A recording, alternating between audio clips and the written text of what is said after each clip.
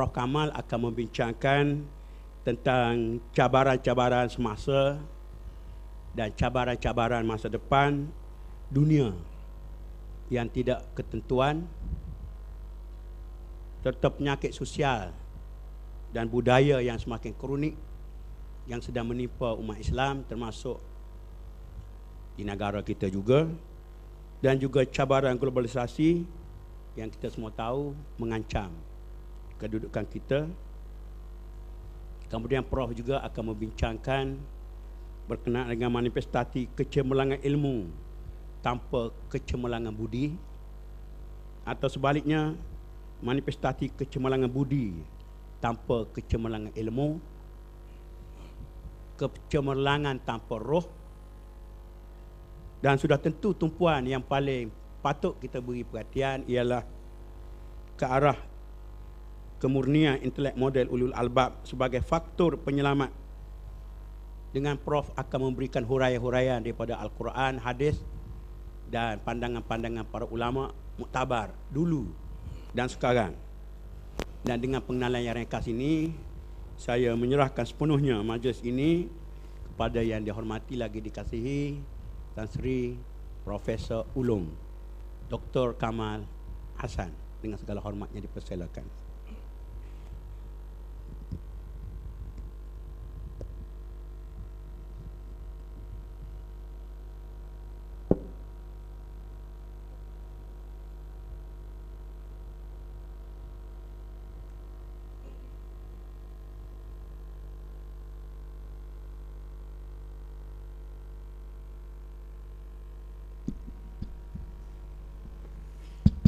بسم الله الرحمن الرحيم. الحمد لله الذي هدانا لهذا وما كنا لنهتدي لولا أن هدانا الله. والصلاة والسلام على أشرف الأنبياء والمرسلين سيدنا محمد وعلى آله وصحبه أجمعين. سبحانك لا علم لنا إلا ما علمتنا إنك أنت العليم الحكيم.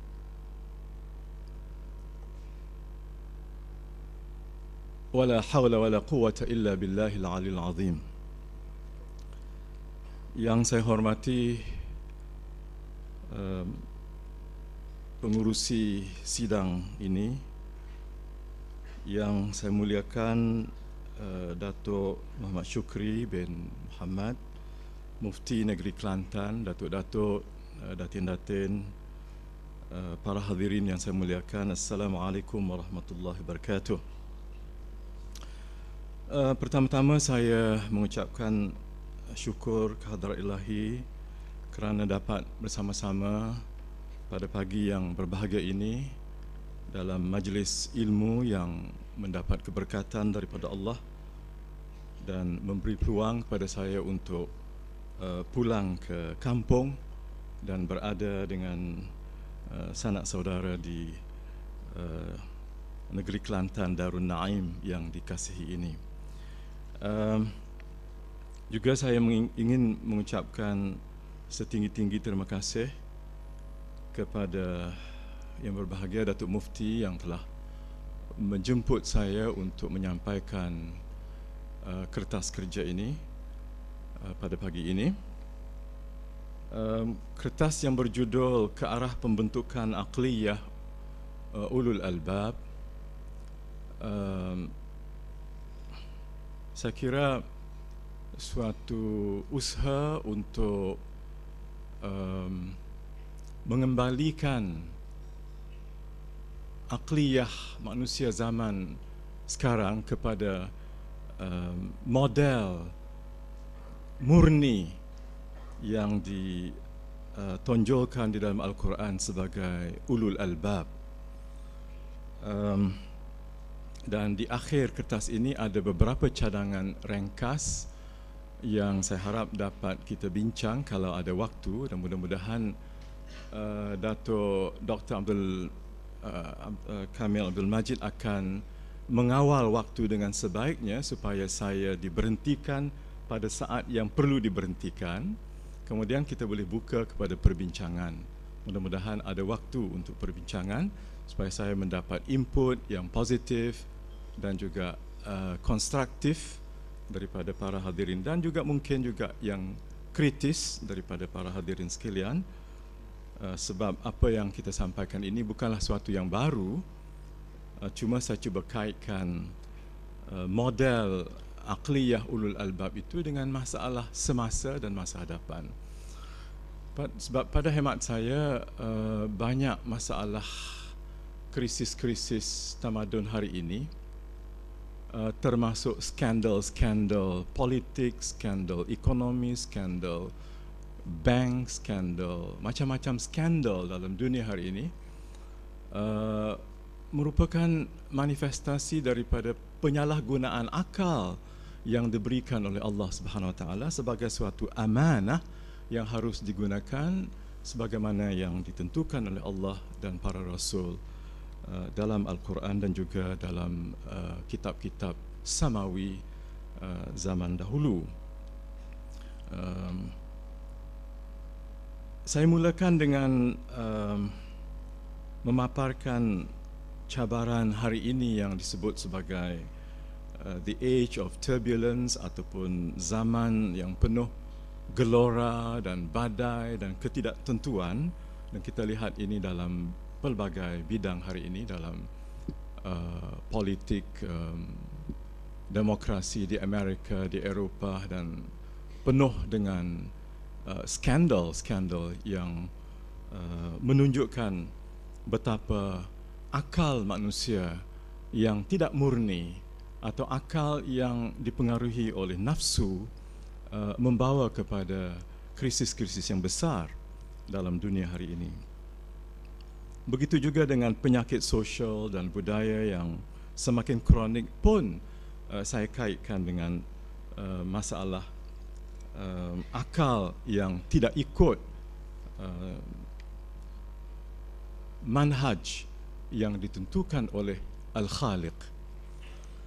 Uh, kemudian uh, saya juga sen- uh, menyentuh soal apa yang disebut tadi uh, kecemerlangan ilmu tanpa kecemerlangan budi uh, dan ini kita lihat pada hari ini dan banyak manifestasinya yang kita lihat um, antara lain saya sebut di sini berkembangnya barah komersialisasi dalam universiti-universiti di dunia hari ini. Uh,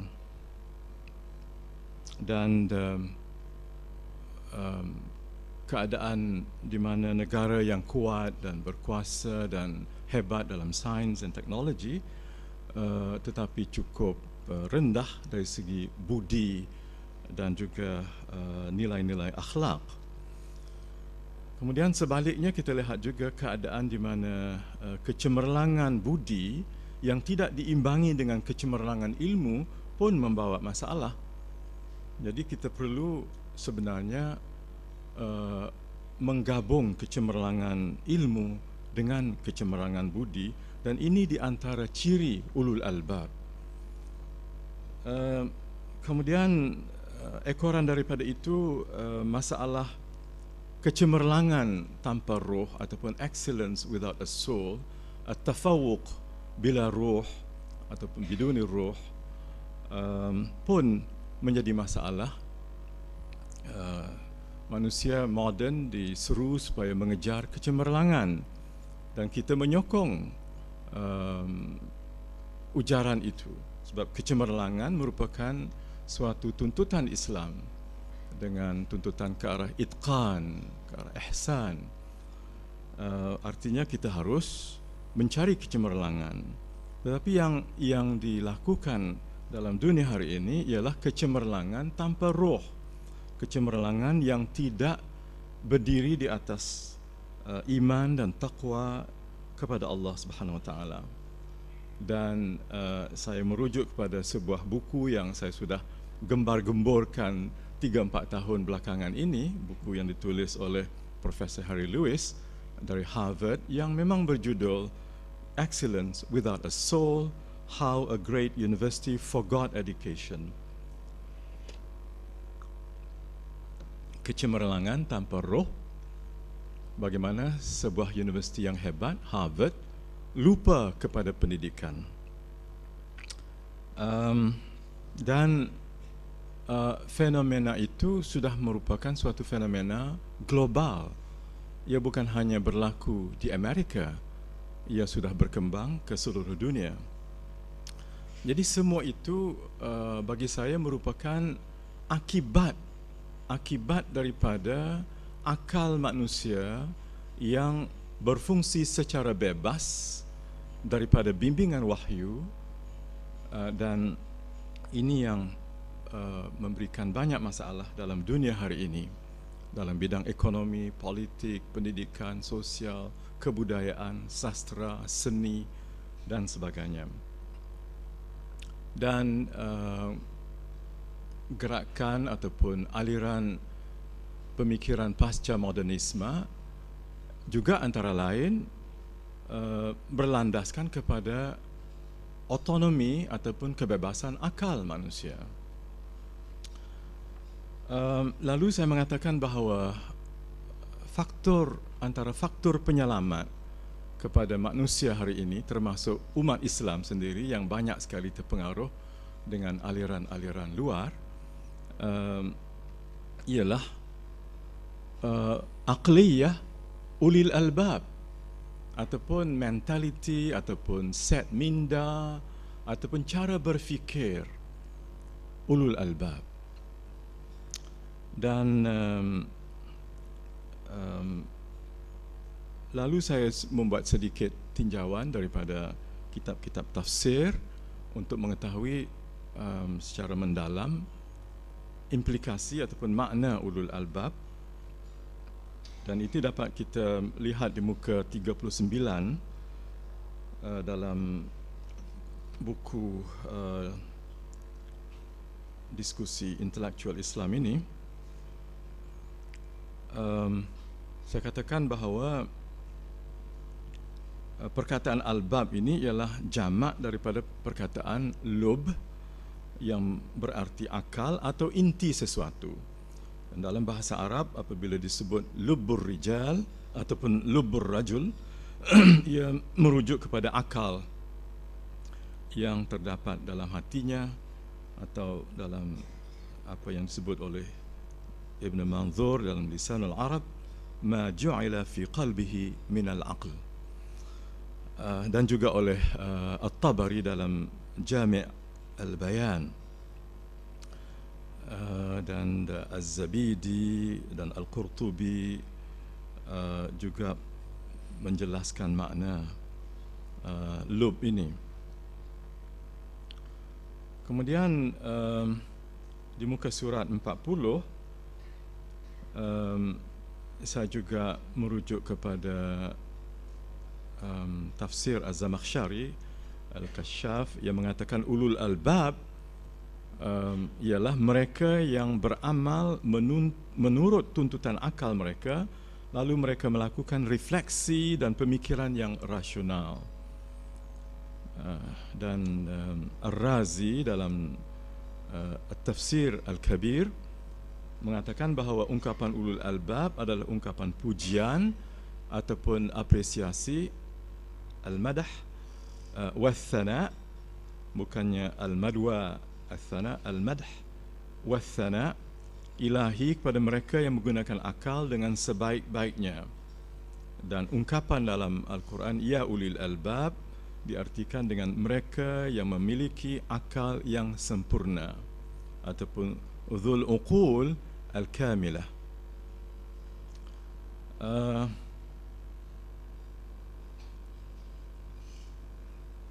Kemudian uh, di muka surat 41 Ibn Kathir dalam uh, tafsir Al-Quran Al-Karim menerangkan bahawa ulul albab ialah akal-akal yang sempurna dan suci yang memahami perkara-perkara berserta hakikat-hakikatnya dengan cara yang sejelas-jelasnya.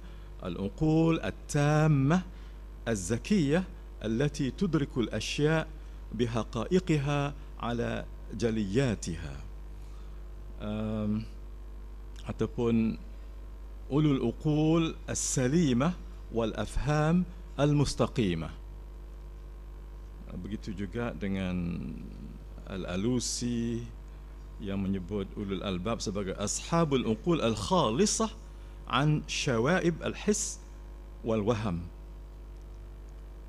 Al-Shawkani mengatakan ulul albab ialah ahlul uqul as-sahihah al-khalisah an syawaib an-naqs.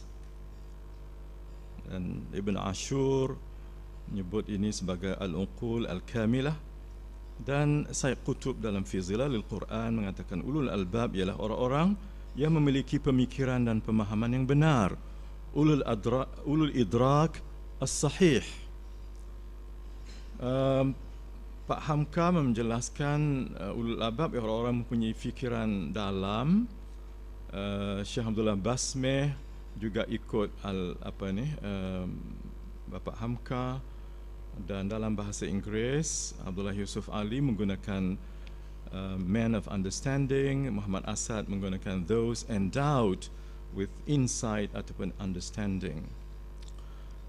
Kemudian um, kita buat satu ringkasan daripada melihat 16 ayat Al-Quran yang menggunakan ulul albab dan saya buat ringkasan di situ uh, ciri-ciri akliyah ulul albab Antara lain yang pertama iaitu aqliyah ulul albab menjadikan para nabi dan rasul Allah itu sebagai contoh tauladan utama. Itulah yang menjadi contoh utama mereka. Dan mereka berpegang pada itu. Uh, tentu sekali dalam zaman sekarang ini sikap itu tergugat ya, oleh macam-macam aliran. Kemudian yang kedua menerima seluruh Al-Quran sebagai kebenaran mutlak daripada Allah termasuk yang mutasyabihat. Ah, sekarang ini ada yang yang cuba mentakwilkan macam-macam menggunakan akal semata-mata dan ada yang mengambil sebahagian Al-Quran dan lupa sebahagian daripadanya. Sedangkan ulul albab menerima semua secara uh, tuntas daripada Allah Subhanahu Wa Taala dan ini ada implikasinya dalam pemikiran, ada implikasinya dalam Uh, perbuatan ada implikasinya dalam akhlak uh, para ilmuwan. Kemudian yang ketiga uh, akliyah yang ketiga ialah sentiasa ingat bahawa segala yang dibawa oleh Rasul sallallahu alaihi wasallam itu adalah kebenaran mutlak dan berpegang teguh kepada perjanjian dengan Allah. Dan yang keempat tahu memilih akliyah ulul albab ialah akliyah yang tahu memilih pandangan yang terbaik. Uh, tapi bersandarkan kata Imam Ar-Razi hujjatul aqal. Uh, yang kelima mengambil peringatan daripada musibah yang menimpa para anbiya berdasarkan nazar dan juga istidlal uh, dan yang keenam tahu mengambil pengajaran daripada fenomena pertumbuhan penurunan dan kemusnahan dalam alam tabii Uh, dan ini diambil sebagai iktibar dalam hidup seharian dan mereka juga tidak tertipu dengan kemajuan kebendaan ataupun uh, gurur dengan mata'id dunia. Yang ketujuh, uh, wahyu ilahi menjadi petunjuk dan peringatan utama bagi ulul albab dan memanglah ilmuwan Islam, ilmuwan yang berpegang kepada ajaran Al-Quran dan Sunnah mengambil wahyu ilahi sebagai petunjuk utama. Dan yang kelapan berfikir dan bertindak atas dasar takwa kepada Allah Subhanahu Wa Taala. Dan yang ingin saya beri perhatian sedikit ialah yang kesembilan ini. Dan ini ada kaitan dengan cadangan saya di belakang itu. Iaitu yang mengkaji fenomena alam tabi'i sebagai ayat-ayat Allah. Dan ayat yang Uh, sering dikutip disebut ialah yang daripada Ali Imran 190 sampai 194 ataupun lebih awal lagi kalau kita baca itu semua ada kaitan dengan uh, yatafakkaruna fi khalqis samawati wal ard iaitu mengkaji mendalami menganalisa fenomena alam tabii sebagai ayat-ayat Allah dan fokus saya kepada itu dalam kertas ini. Yang kemudian saya pergi kepada yang berikutnya sebab saya nak uh, nak kupas ataupun nak bincang ini dengan lebih mendalam iaitu yang kesembilan ini, akliyah yang kesembilan. Dan saya bawa uh, isu pentingnya mengkaji fenomena alam tabii termasuk diri manusia.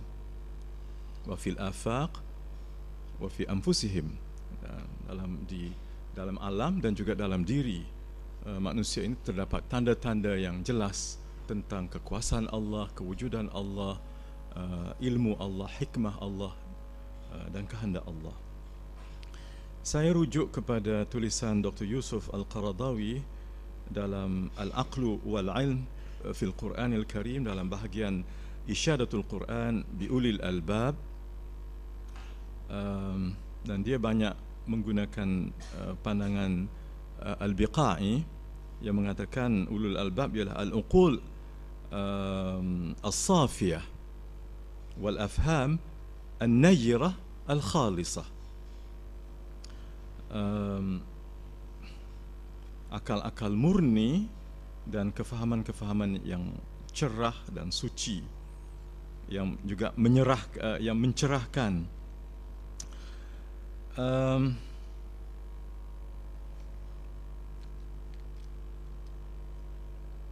saya ingin pergi kepada muka surat um,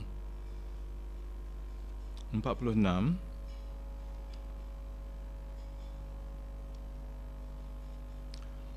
um, saya katakan bahawa dalam dalam surah Ali Imran 190 sampai 194 di situ kita lihat bagaimana sifat-sifat ke keilmuan ataupun akliyah uh, ulul albab yang bersandarkan kepada iman kepada tauhid dan ketakwaan kepada Allah termasuk khasyatullah takut kepada balasan-balasan Allah dan uh, kemurkaan Allah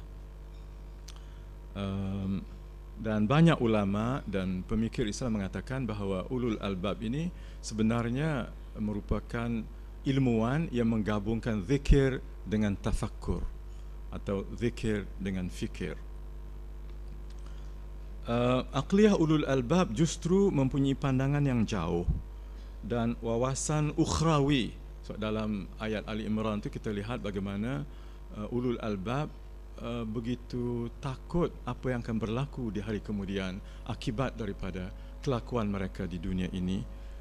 Um, jadi ia mempunyai wawasan ukhrawi bahawa setiap hasil kerjanya dan tindak tanduknya bukan tindak tunduknya berhubung dengan alam semesta di dunia ini ataupun berhubung dengan sains dan teknologi di dunia ini pasti mempunyai akibat uh, baik atau buruk di hari pembalasan dan wawasan ini cukup jelas uh, dalam dalam uh, al-Quran.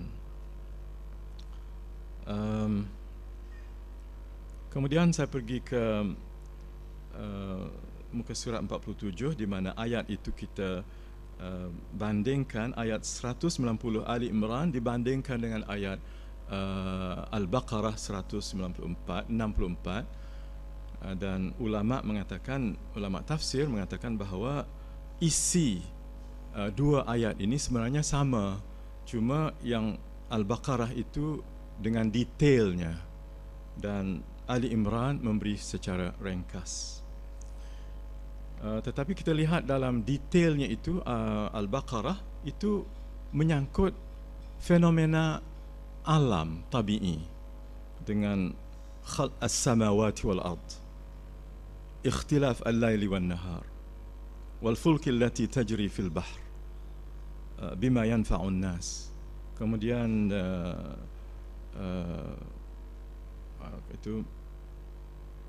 وما أن أنزل أنزل الله من السماء وما أنزل الله من السماء ماء فأحيا به الأرض apa itu air dari langit dan uh, apa yang berlaku di bumi dan um, haiwan yang yang melata di atasnya, uh, perubahan angin dan juga um, awan-awan yang terperangkap di antara langit dan bumi. Semua ini merupakan tanda-tanda bagi mereka yang berfikir dengan murni. Uh, liqaumin yaqilun di situ sama dengan liulil albab. Cuma ulil albab ini lebih mendalam lagi. Dan Imam Ar-Razi mengatakan uh, kalau kita berfikir secara uh, secara sepintas lalu ataupun secara um, tidak mendalam itu dikatakan uh, dia katakan aklan kita melakukan sesuatu aklan. Tetapi kalau pergi secara lebih mendalam kata dia ini lubban itu ar-razi kemudian um, saya pergi ke muka surat 48 uh, Dr. Abdul Majid berapa minit lagi ada? Ya? 15 okey terima kasih. Um, ya konsep alam terbuka konsep kitab terbuka ini banyak di sekarang ini dalam di kalangan ulama ulama uh, zaman sekarang banyak membicarakan bagaimana alam ini sebenarnya ialah kitab Allah yang terbuka. Um, dan saya melihat ini banyak dikupas dengan cukup indah oleh Syed Qutub. Keindahan ungkapan dan huraiannya itu menakjubkan dan kerana itu saya banyak berpegang kepada pandangan Syed Qutub dalam hal-hal ini. Um, ia mengatakan bahawa apa yang kita lihat di alam di atas, di dalam alam ini merupakan bagi dia kitab maftuh ataupun kitabullah uh, al-maftuh. Dan kitab terbuka ini um, kita uh, daripada memahami kitab yang terbuka ini kita dapat memahami hakikat alam itu sendiri dan ini kita dapat juga baca dengan cara dengan lebih panjang lebar uh, dalam muqawwimat at-tasawwur al-islami. Uh, ataupun khasais at-tasawwur al-islami wa muqawwimatuh. Tolong dibetulkan ya uh, judul buku itu. Um, bagi dia dia mengkaji dia melihat alam ini sebagai uh, satu uh, makhluk hadis uh, kaun halik fanin musakhar uh, musayyar juga kaum uh, kaun jamil bahir uh, kaun صديق للحياة والأحياء مأنوس للإنسان بوجه خاص ataupun kaun muslim ta'i' li rabbih wa mu'min 'abid limaula ataupun uh, dan seterusnya. Dan saya mengatakan di muka surat 49 um, saya katakan perspektif yang komprehensif ataupun syumul dan bersepadu ataupun takamul inilah uh, yang telah menggabungkan ilmu agama dengan ilmu dunia ini kalau kita guna istilah Imam Al-Ghazali rahimahullah uh, ulumuddin dengan ulumud dunia. Ya, ataupun kalau uh, Ibn Khaldun ulum aqliyah dengan ulum naqliyah. Dan gabungan antara dua inilah yang melahirkan uh, tamadun yang begitu hebat yang merupakan mukaddimah ataupun pencetus kepada renaissance Eropah dan nama-nama yang saya sebut di sini saya kira tidak tidak asing lagi pada kita semua seperti Jabir ibn Hayyan Al-Khawarizmi dalam matematiknya Al-Kindi, Al-Razi, Al-Zahrawi, Ibn Al-Haytham uh, Al-Biruni, Ibn Sina, Al-Zarqali uh, Ibn Zuhur, uh, Ibn Rushd, Jazari Athiruddin Al-Abhari Muayyaduddin Al-Urdi uh, Nasiruddin Al-Tusi Ibn Nafis, Qutubuddin Al-Shirazi, uh, Ibn Shatir. Ibn Shatir ini luar biasa. Dia sebenarnya sudah pun dapat mengira keluasan bumi ini dan juga jauhnya bumi daripada langit dan daripada matahari dan sebagainya. Dan kitabnya ini rupanya dibaca oleh orang yang kemudiannya uh, menyampaikan perkara ini kepada Copernicus.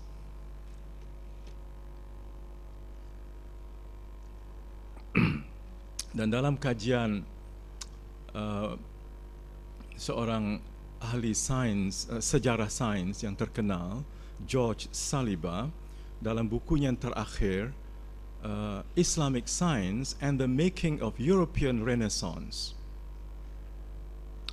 Uh, sains Islam dan uh, terjadinya atau munculnya uh, apa itu Renaissance Eropah dalam buku itu dihuraikan dengan panjang lebar dengan bukti-bukti yang jelas bagaimana Copernicus sebenarnya mengambil daripada Ibn Shatir.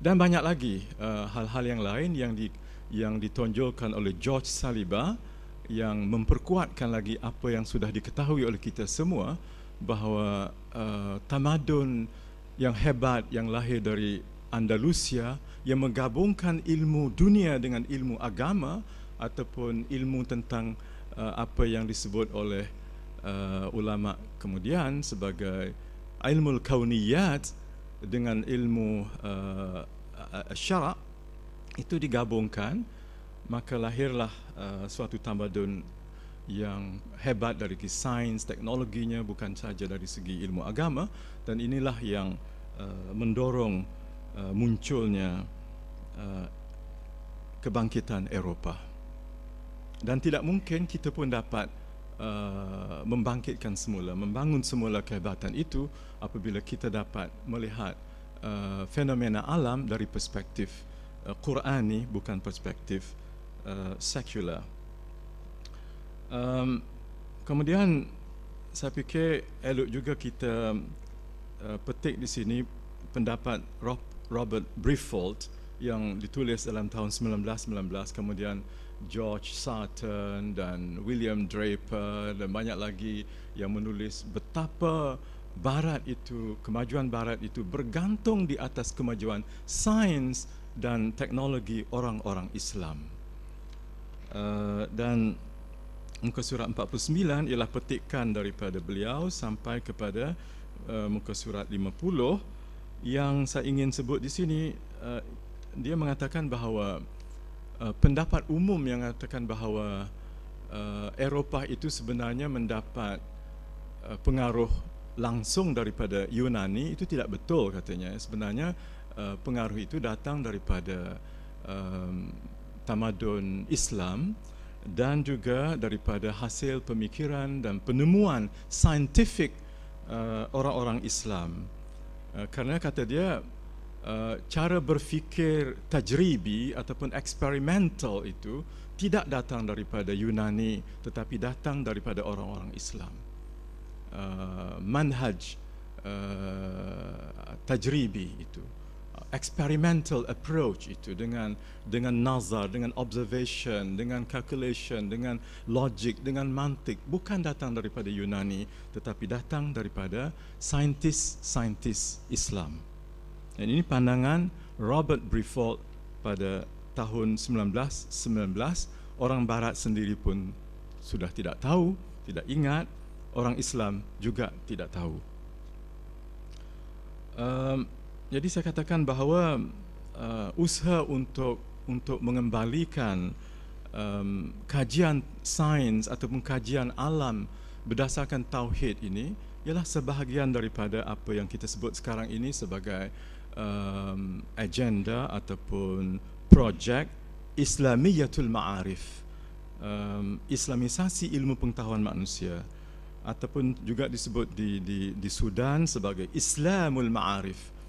Uh, atau di di di apa itu di uh, Arab Saudi dan juga di Mesir al-ittijah at-ta'sili lil ulum ataupun juga disebut secara umum al-manzur al-islami lil ulum um, kemudian saya pergi kepada muka surat 51 uh, saya mengatakan di situ bahawa um, kesedaran bahawa um, pendekatan yang uh, yang sekular secara totok yang menafikan um, faktor kesakralan alam ini uh, juga disedari oleh beberapa orang tokoh barat sendiri dan saya sebut beberapa kalau sosiologisnya Peter Berger uh, dalam the return of the sacred, the desecularization of the world. Um, dan juga kita lihat dalam um, tulisan Karen Armstrong, The Case for God, juga dalam uh, editor majalah Economist yang mengakui bahawa uh, God is back. Uh, kalau kita lihat kepada uh, Nietzsche um, yang mengatakan God is dead, sebenarnya yang mati itu Nietzsche, God tidak mati. God is not dead, Nietzsche is dead and God is back. Ini artinya suatu pengakuan di kalangan beberapa tokoh pemikir barat bahawa uh, kesakralan alam itu tidak dapat dinafikan. Dan um, walaupun saya katakan uh, golongan atheis semakin hebat, semakin kuat mempertahankan ataupun mengukuhkan pendirian uh, ateisme mereka seperti Sam Harris, Richard Dawkins, Christopher Hitchens um, yang mengatakan God is not great dan sebagainya. Um, sekarang saya ingin balik kepada ayat 90 190 surah Al-Imran um, yang um, saya petik di sini ialah pandangan uh, Syed Qutub yang pada hemat saya sebab dia tulis ini dalam tahun 60-an. Bagi saya Syed Qutub merupakan barangkali yang pertama yang membincangkan soal world view Islam dengan menggunakan at-tasawur uh, al-islami lil wujud itu dalam fizilal al-Quran.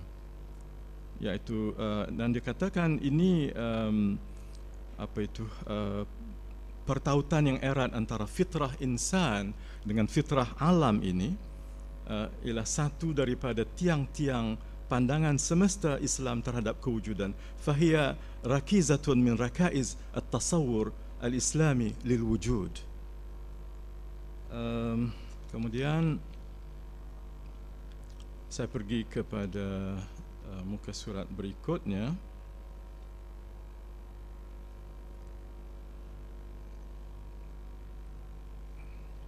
Muka surat 53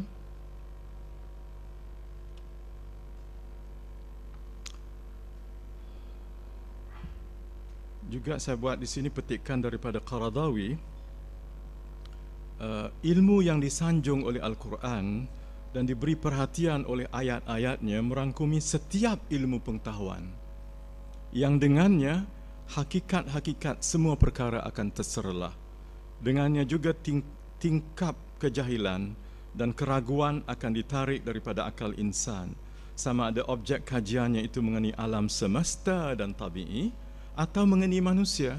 Kalau mengenai manusia sekarang ini kita sebut social sciences human sciences kalau mengenai alam tabii science ataupun modern science dan mengenai perkara wujud atau perkara gaib sama ada cara memperolehi pengetahuan itu melalui panca indera atau perkara raib sama ada cara memperoleh pengetahuan itu uh, atau eksperimen atau melalui penggunaan akal dan pembuktian atau melalui wahyu dan kenabian. Um, dan dia mengatakan lagi bahawa sebagaimana tidak benarnya pendapat orang-orang berfaham sekular bahawa ilmu pengetahuan hanya terbatas kepada apa yang boleh diketahui melalui pemerhatian indrawi dan eksperimen ini pandangan sekular maka tidak benar juga kata Qaradawi sangkaan sesetengah orang Islam yang kuat beragama bahawa ilmu dalam Al-Quran hanya merujuk pada ilmu agama. Itu pandangan Syekh Qaradawi. Banyak sekali ayat-ayat Al-Quran yang menunjukkan bahawa perkataan ilmu merangkumi pelbagai jenis ilmu pengetahuan. Dan dalam surah uh, Al-Fatir ayat 27 dan 28 istilah al-ulama dikaitkan dengan beberapa fenomena ala, uh, alamiah dan di situ kita baca ayatnya ya iaitu uh, a'udzubillahi minasyaitonir rajim tara anna Allah anzala minas sama'i ma'an fa akhrajna bihi thamaratin mukhtalifan alwanuha ومن الجبال جدد بيض وحمر مختلف ألوانها وغرابيب سود ومن الناس والدواب والأنعام مختلف ألوانه. كذلك إنما يخشى الله من عباده العلماء. Uh, siapakah muka surat 54 siapakah yang dimaksudkan dengan al ulama dalam ayat ini? Saya kutub menerangkan bahawa al ulama dalam konteks ini ialah saya petik para ilmuwan atau bijak pandai yang membacanya iaitu membaca alam membaca fenomena alam memahaminya dan mendalaminya merekalah yang takut kepada Allah dan fenomena dan kepelbagaian yang wujud dalam alam semesta diibaratkan oleh Syed Kutub sebagai lembaran-lembaran daripada kitab alam semesta yang boleh dibaca oleh mereka yang menjadi ahli dalam bidang-bidang pengkhususan mereka. Dari bacaan para ilmuwan itu, mereka mengenali Allah Subhanahu Wa Taala dengan pengetahuan yang sebenarnya. Mereka mengenali Allah dari kesan-kesan ciptaannya dan mereka menanggapinya dari kesan-kesan kesemua kuasanya lalu mereka merasa takut kepadanya dengan sesungguhnya, bertakwa kepadanya dengan sesungguhnya dan mengabdikan diri kepadanya dengan sesungguhnya. Tapi kalau kita lihat kepada ahli sains moden, apalagi ahli sains yang sekular, uh, ini tidak ada dalam dalam akliyah mereka, dalam pribadi mereka. Walaupun mereka mengkaji kitab terbuka Allah. Um, jadi kata dia um, segala kepelbagaian, keajaiban, keteraturan yang wujud dalam alam fizikal ini hanya boleh dimengerti oleh mereka yang benar-benar mengetahui kitab ini. Ya, la yudrikuha illa al-ulama bihadzal kitab. Para ilmuwan yang mengetahuinya dengan ilmu yang berkaitan langsung kata ilman wasilan, pengetahuan yang dirasakan oleh hati dan mengarahkannya. Lalu ia melihat menerusi tangan Allah uh, yang mencipta kepelbagaian warna, bentuk dan keteraturan dalam alam yang semesta ini. Kemudian saya berikan pandangan uh, Syekh Yusuf Al-Qaradawi yang dapat dibaca dalam kitab uh, Al-Ilm wal-Aqal itu. Dia kata di sini, "Fal ulama huna kama yabdu min as-siyaq, laisu humul ulama ad-din." وفقهاء الشريعة على فضلهم ومكانتهم. وإنما هم الذين يعرفون آيات الله ويكتشفون سنته في خلقه فيما ذكر من السماء والنبات والجبال والناس والدواب والأنعام أي الذين يعرفون عظمة الله من خلال معرفتهم بعلوم الإنسان وعلوم الحياة من نبات وحيوان ومن خلال هذه المعرفة الحقيقية يخشون الله إذ لا يخشى الله ويخاف مقامه مقامه حقا إلا من عرفه سبحانه Jadi uh, dari di sini secara ringkas kita lihat bahawa dalam ayat ini dalam siak ayat uh, konteks ayat ini yang dimaksudkan ulama di situ ialah mereka yang betul-betul mengetahui tentang proses alam ini. So itu kata dia um,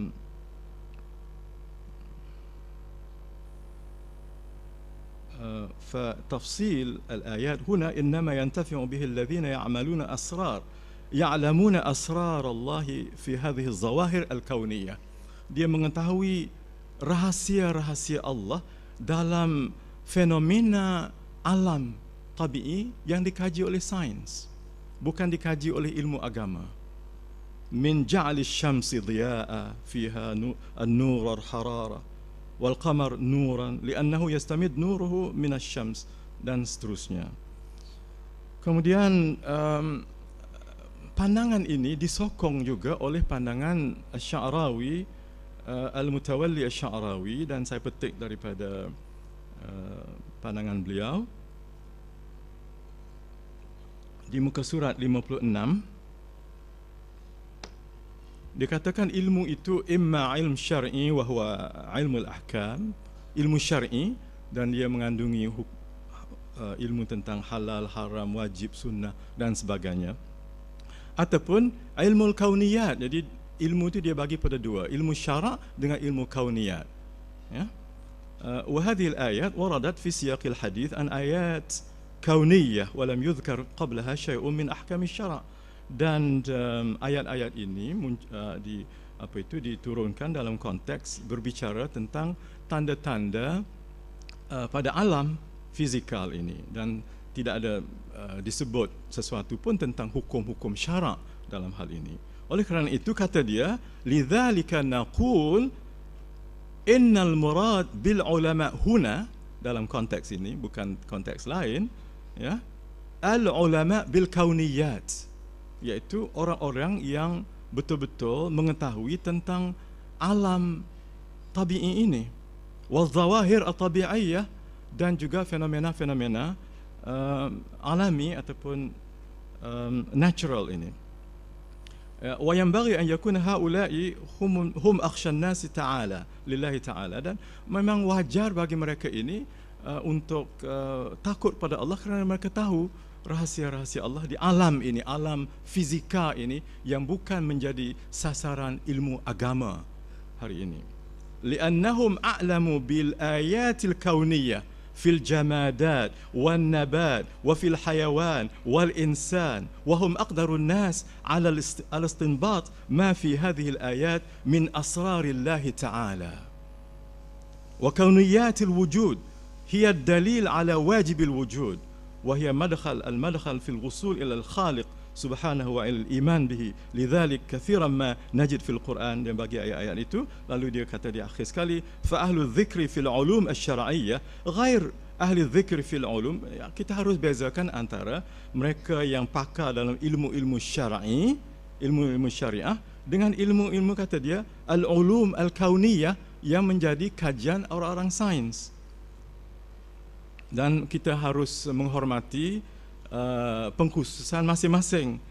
Dan kata dia wala yansa ulama asy-syar'i anna ulama al-kauniyyah humul ladzina yaktashifuna lana asrar Allah fil khalq. Dan jangan lupa ulama-ulama syarak ulama-ulama ilmu agama jangan lupa bahawa ulama-ulama kauniyat ni saintis-saintis alam ini mereka lah yang membongkar pada kita rahsia-rahsia Allah di dalam ciptaan alam ini.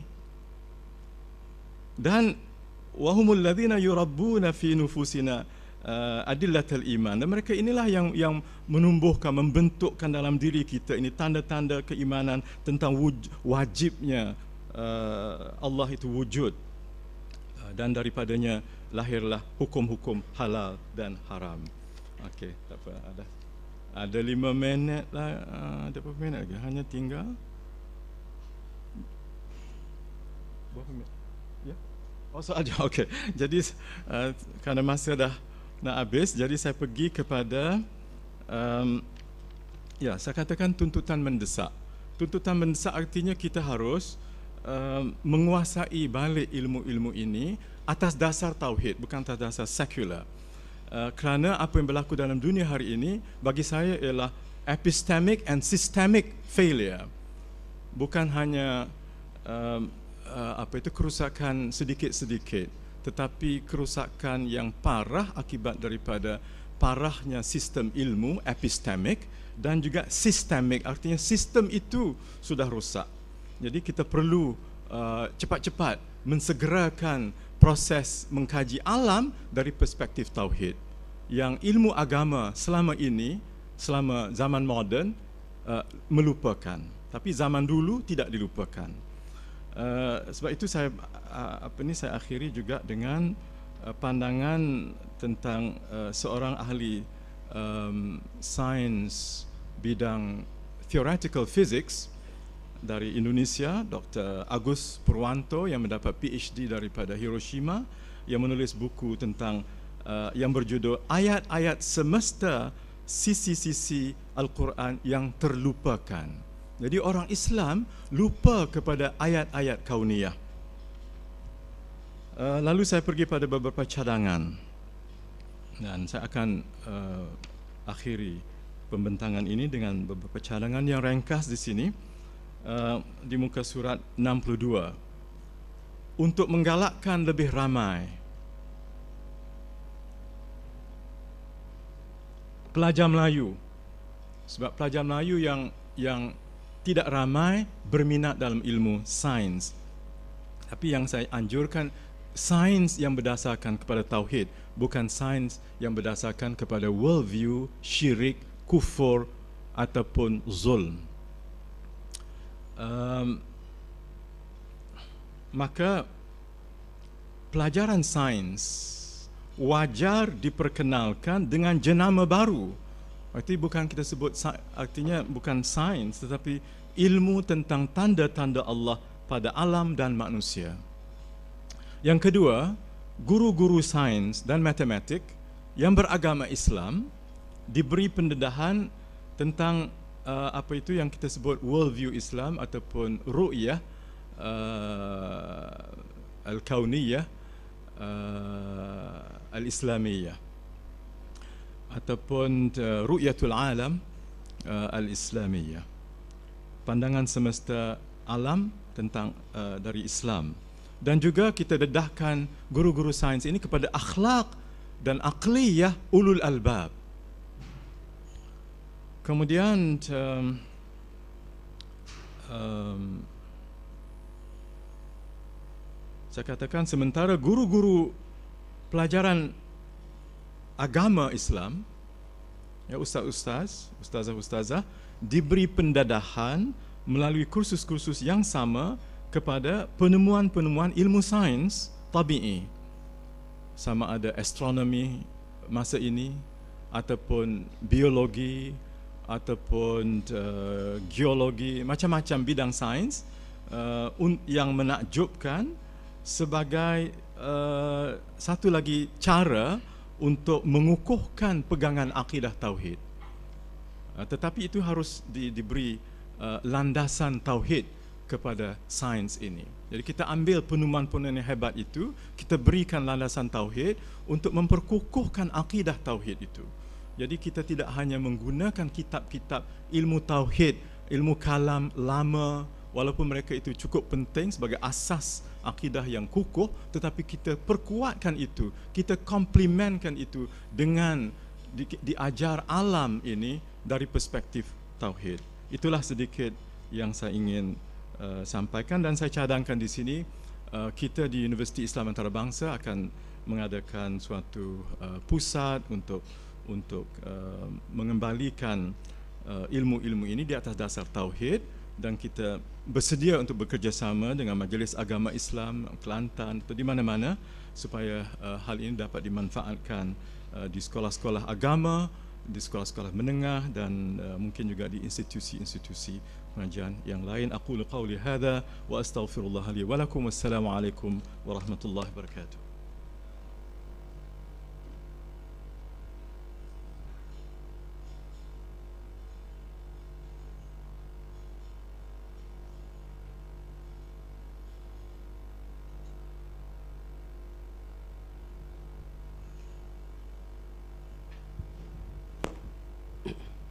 Alhamdulillah.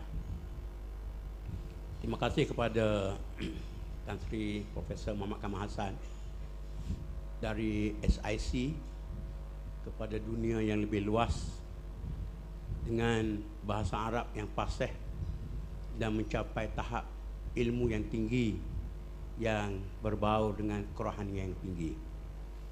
Jadi kalau orang Melayu mengatakan ikutlah resmi padi semakin berbuah semakin tunduk maka inilah salah satu daripada pohon-pohon padi yang boleh menjadi ikutan kepada kita semua. Sebenarnya kertas kerja ini tidak cukup dengan pembentangan ini saja. Kita harus menghadamkan. Dan lebih daripada itu saya mencadangkan supaya sebahagian besar daripada kita dapat menyebarkan idea-idea ini dalam bahasa yang lebih mudah kepada masyarakat umum untuk mencapai apa yang kita sebut ke arah uh, menuju uh, akliyah ulul albab. Saya sengaja mempercepatkan uh, Prof. Kamal berhenti untuk memberi peluang kepada tuan-tuan puan-puan mengambil peluang yang bukan mudah untuk berdepan dengan Prof. Kamal. Yang saya yakin jarang masa yang ada untuk kita bersama-sama. Jadi ambillah peluang ini seluas-luasnya dan kita akan berhenti apabila uh, tuanku berangkat. Yang kita tidak mahu ada masa senggang yang panjang, jadi saya beri peluanglah supaya mengambil faedah daripada seorang ilmuwan yang tersohor bukan sahaja di negara kita tapi di peringkat antarabangsa. Dengan segala hormatnya dipersilakan. Ya. Yeah.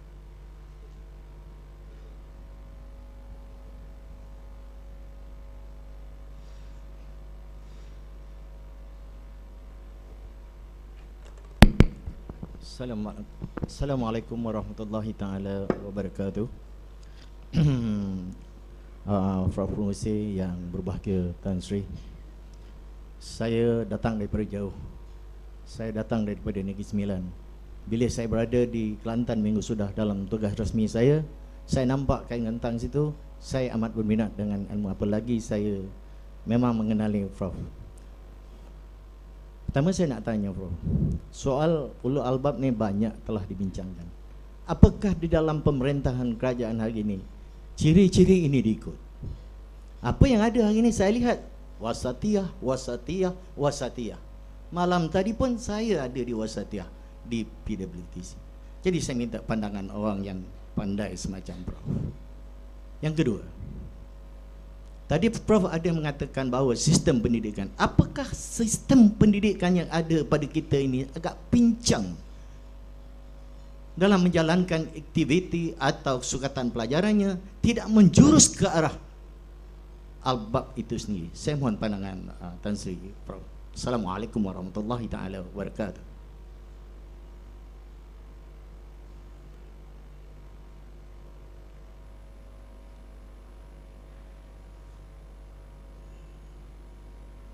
Kasih kepada soalan yang telah dikemukakan. Uh, kita ambil dua soalan lagi untuk dijawab secara terus, secara langsung. Ya.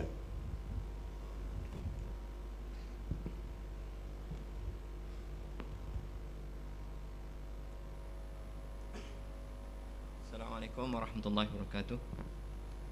Uh, sekadar untuk uh, mendapat sikit penjelasan dan input kalau boleh perkenalkan nama. Ha, nama saya Zaidi bin Hassan. Uh, iaitu pendekatan ulil albab tu kalau katakan dalam bahasa mudah yang kita terdedah ialah dalam perbincangan awal kitab Usuluddin iaitu tiga hukum. Hukum akal yang kita menyusun cara kita berfikir untuk mendapatkan natijah. Qadiyatul kubra, qadiyatul sugranya. Yang kedua hukum hukum adat.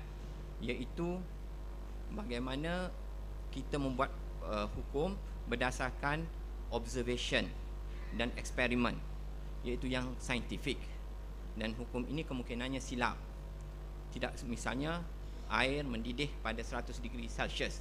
Tetapi ada keadaan apabila misalnya uh, pressure-nya berubah berubahlah uh, hukum uh, degree air mendidih. Yang ketiganya hukum syarak kerana dalam setiap masa itu ada tuntutan syarak di atas kita. Jadi dengan pendekatan ini saya rasa dia lebih balance. Jadi misalnya kita ambil satu fenomena alam iaitu bila berlaku gempa bumi. Kita melihat dari hukum dari segi hukum akal yang Allah Subhanahu Wa Taala boleh melakukan apa sahaja mengikut kudrat dan iradatnya. Hukum syarak kita dituntut waktu itu supaya sembahyang sunat kerana zilzalah kerana gempa bumi. Dan hukum akalnya ianya berlaku kerana terdapatnya tectonic plates yang uh, bertindih. Tetapi ada kadang-kadang berlaku misalnya di Amerika waktu satu masa itu tidak ada pun aktiviti tektonik tetapi berlaku juga gempa bumi. Jadi saya rasa tidak timbullah soalan misalnya ada dalam petikan oleh uh, dalam tafsir Tantawi itu yang mengatakan kenapa kita terlalu sibuk memikirkan tentang fiqah yang menyebabkan timbulnya khilaf uh, apabila di disuku-sukukan diasing-asingkan ketiga pendekatan ini.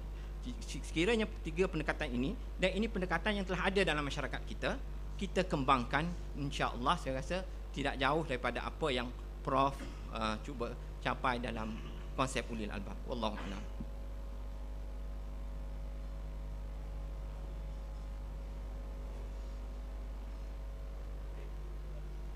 Bismillahirrahmanirrahim. Assalamualaikum warahmatullahi wabarakatuh. Uh, pertamanya terima kasih kepada yang berbahagia Prof, Prof di atas uh, pembentangan yang cukup menarik, kertas yang cukup uh, hebat.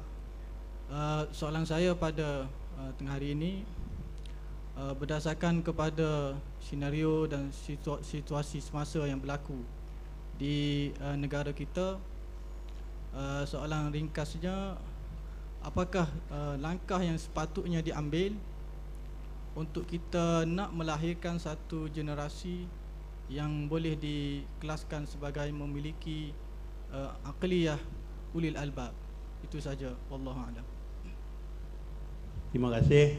Untuk peringkat ini kita jawab tiga soalan dulu. Kemudian kalau ada masa kita bagi peluang untuk soalan keempat. Silakan Prof.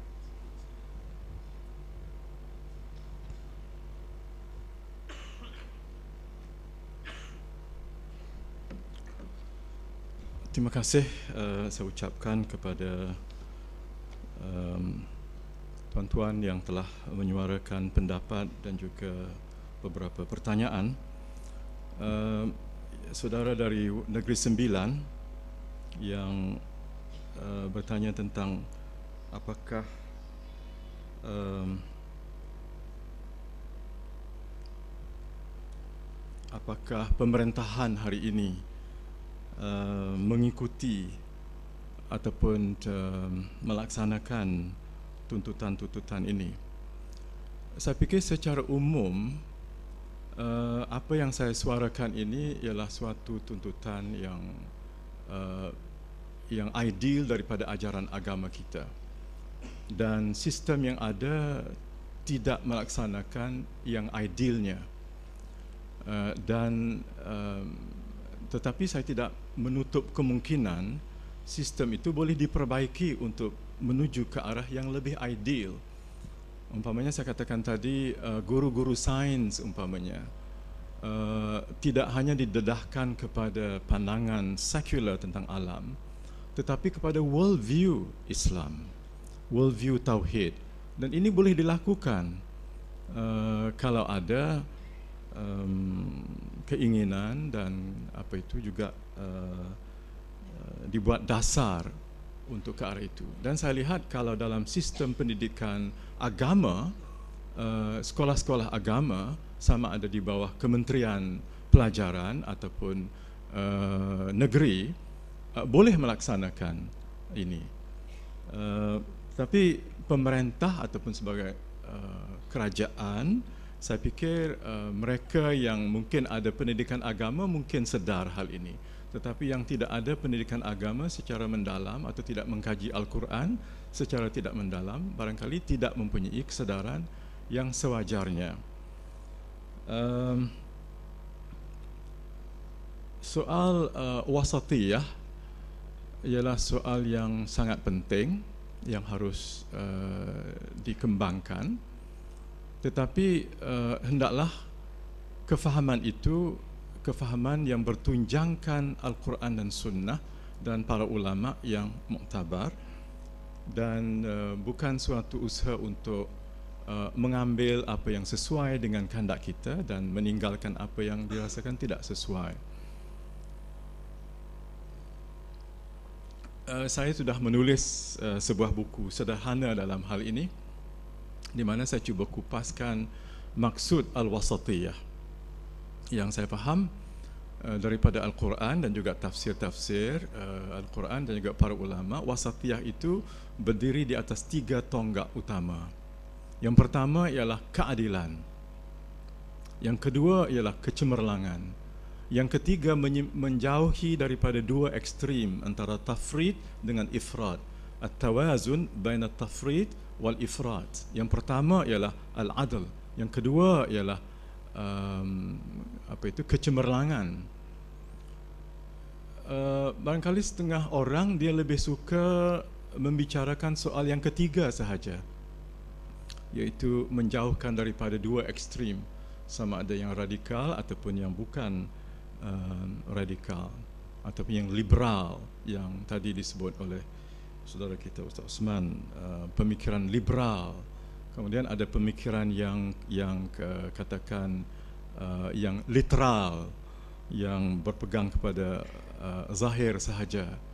Uh, itu dua yang dianggap uh, ekstrim dan uh, wasatiyah yang ketiga ini ialah berada di antara dua ekstrim itu Uh, itu perlu difaham dan saya saya fikir bagus kalau sesiapa pun berbicara soal wasatiyah itu baik. Tetapi hendaklah berbicara atas dasar uh, berdasarkan pada ajaran al-Quran yang uh, syumul uh, dan takamul. Bukan hanya mengambil serpihan-serpihan daripada itu. Um, Kemudian soalan yang kedua ialah tentang sistem pendidikan. Sistem pendidikan kita kalau yang dibawa oleh kerajaan pemerintah banyak kelemahannya. Banyak kelemahannya, banyak kepincangannya dan perlu uh, berlaku perubahan-perubahan besar. Um, dan barangkali di kalangan pembuat-pembuat dasar, barangkali sebab saya tidak buat kajian, uh, kefahaman tentang ulul albab pemikiran mungkin tidak ada di kalangan. Mungkin tidak ada sebab saya tidak tahu. Um, pada pandangan saya kebanyakan pembuat dasar mungkin mereka yang tidak mendalami al-Quran ataupun mendalami ilmu agama. Jadi kesedaran tentang konsep ulul albab ini mungkin tidak tidak uh, tidak wujud. Ataupun uh, sis dasar itu sendiri mungkin tidak memberi ruang untuk itu tetapi uh, ini keadaan sekarang. Tapi di masa hadapan saya harap akan lebih ada keterbukaan untuk menerima um, perspektif-perspektif daripada Quran ini uh, untuk menjadi sebahagian daripada dasar-dasar pendidikan ataupun pemerintahan. Kerana kita, saya kata bagaimana saya katakan dalam paper saya tadi, terdapat uh, manifestasi keruntuhan sistem-sistem sekarang ini, systemic um, apa itu failures ataupun uh, dalam sistem, sama ada sistem ekonominya, sistem politik uh, demokrasinya, uh, sistem ekonomi kapitalisnya, semuanya menunjukkan tanda-tanda keruntuhan. Um, dan juga mungkin malapetaka. Dan uh, kita harus kembali kepada dasar kesatuan ilmu iman dan takwa tadi. Jadi um, dan saya akan berbicara hal yang sama di, di depan uh, orang pemerintah ke ataupun bukan pemerintah, hal yang sama akan saya sampaikan. Uh, tetapi itulah sedikit apa itu uh, perjuangan kita untuk menimbulkan kesedaran mudah-mudahan mereka yang memegang teraju pemerintahan mudah-mudahan mereka yang membuat dasar akan uh, mendapat manfaat daripada sumbangan-sumbangan kita yang tidak punya uh, apa itu kepentingan pribadi atau kepentingan kelompok. Cuma uh, kita mempunyai kepentingan menegakkan kebenaran sebagaimana yang ada dalam al-Quran dan sunnah. Kepada uh, Tuan Haji Zaidi saya uh, berterima kasih kepada beliau kerana memberikan perspektif daripada um, ilmu tauhid um, yang berpegang pada tiga hukum akal, adat, syarak. Sebenarnya uh, ulul albab ini akan uh, menggunakan ketiga-tiganya bukan hanya hukum hukum akal sahaja ya. Uh, dia berpegang pegang pada syarak pegang pada adat pegang pada akal. Dan uh, ulul albab itu uh, akliyah itu akliyah yang merangkumi ketiga-tiga itu. Jadi saya setuju dengan beliau bahawa kita boleh kemukakan pendekatan yang klasik itu daripada ilmu uh, tauhid. Uh, cuma apa yang saya tekankan di sini bukan soal uh, penyatuan akal adat dan syarak tetapi kajian tentang alam artinya ilmu sains itu banyak diabaikan oleh orang Islam zaman sekarang orang Islam zaman dahulu tidak mengabaikan. So itu kita dapat nama-nama ratusan ulama-ulama hebat tentang sains, tentang uh, perubatan. Kitalah yang merupakan pelopor-pelopor. Orang Islam ya pelopor ilmu sains. Tetapi sejak zaman katakanlah 17 sampai sekarang orang Islam bukan lagi pelopor ilmu sains. Ini yang saya timbulkan. Jadi kita boleh jadi pelopor sebab kita pernah menjadi pelopor dalam bidang ini. Kita mengabaikan uh, ilmu sains ini atau kita mengabaikan ayat kauniyah. Itu yang yang yang saya timbulkan, bukan soal gabungan antara akal. Itu sudah sudah uh, semestinya demikian antara akal, adat, syarak, antara fikir dengan antara zikir dengan tafakkur, antara khasyatullah uh, dengan um, Uh, dengan memahami alam menggunakan alam dengan sebaik-baiknya. Ya itu itu memang memang uh, disetujui. Cuma pandangan Syekh Tantawi dia menulis pada tahunnya dia, pada waktu itu dan ini saya petik daripada buku Agus Purwanto yang petik dia petik daripada tulisan Tantawi yang menyesali bahawa uh, kita ulama-ulama kita di zaman Tantawi barangkali uh, di Mesir lebih banyak menumpukan perhatiannya pada kitab-kitab fiqh sedangkan kitab tentang alam tidak ada. Jadi itu ketandusan uh, ilmu kita dalam tentang alam dari perspektif tauhid itu yang dikesali. Bukannya bahawa kita tidak uh, meng, meng, meng, menggabungkan hukum akal, adat dan syarak. Um, yang ketiga, um, ya secara ringkas, beliau ingin mengetahui bagaimana langkah-langkah yang perlu diambil untuk melahirkan akliyah ini. Jadi saya katakan tadi beberapa cadangan tadi, uh, artinya pelajar-pelajar Islam dalam mempelajari agama, ya dia mempelajari agama daripada ilmu-ilmu agama, tapi dia juga boleh mendapat kekuatan akidah daripada mempelajari sains berdasarkan tauhid bukan sains berdasarkan ilmu sekular.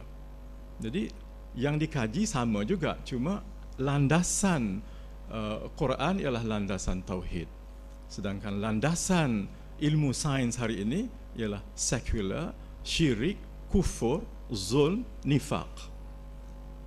Um, jadi uh, kemudian saya katakan bahawa kita perlu memperbanyakkan uh, ahli-ahli sains kita yang didedahkan kepada ru'yatul alam uh, al-islamiyah. Jadi pandangan alam berdasarkan tauhid. Ahli-ahli sains kita banyak yang belajar di luar negara yang dapat PhD uh, tapi alhamdulillah mereka itu masih lagi berpegang pada Islam kerana imannya itu masih kuat dan imannya itu datang daripada ilmu agama. Tetapi ilmu sains yang dia pelajari itu menafikan Tuhan. Yang dituhankan ialah nature, alam itu. Dan ini kalau kita ubah alam itu kepada Tuhan, uh, substance, isinya itu masih tetap sama. Uh, cuma akarnya lain dan insya Allah buahnya lain. Um, jadi apa yang harus kita lakukan ialah um, kita dalam mengajar agama saya menganjurkan supaya kita jangan hanya memerhatikan ayat Quraniyah tetapi juga ayat kauniyah. Dan ini memerlukan ahli agama juga mengetahui sedikit sebanyak tentang perkembangan terakhir dalam mathematics ataupun dalam fizik pergi kepada quantum physics dengan teori-teori barunya yang boleh mendekati agama. The new physics, bukan lagi physics Newton dan uh, pre-Newton, tapi the new physics itu hampir-hampir kalau uh, mendekati agama dengan metaphysicsnya. Uh, begitu juga dengan alam astronomi, uh, dengan ilmu astronomi yang baru, kita boleh manfaatkan itu. Jadi dengan demikian, saya mengharapkan insya Allah uh, 50 tahun ke depan ini um, pemikiran saintifik akan muncul semula dari kalangan cendekiawan muslim tetapi berdasarkan pada tauhid. Terima kasih. Assalamualaikum.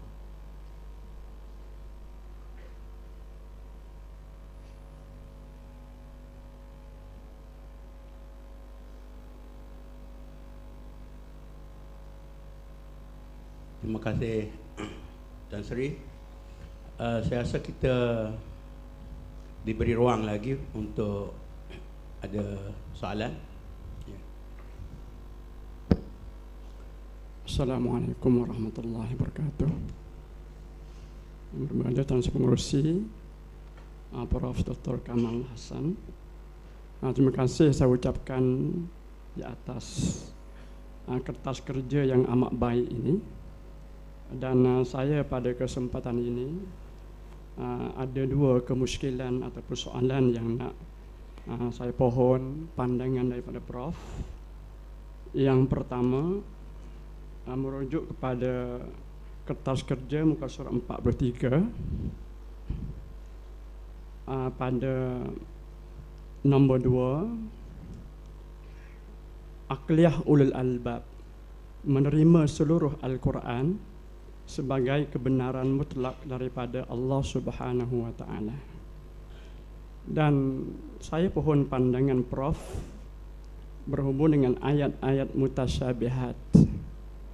Apakah kalau saya takwilkan ayat-ayat mutasyabihat mengikut akal seperti yadullah fauqa aidihim contohnya saya takwilkan tangan itu kepada kuasa sedangkan ayat asal bermakna tangan apakah saya tidak dikatakan telah merubah ataupun menolak ayat yang asal itu? Yang kedua merujuk kepada muka surat 56 renggan sebelum akhir.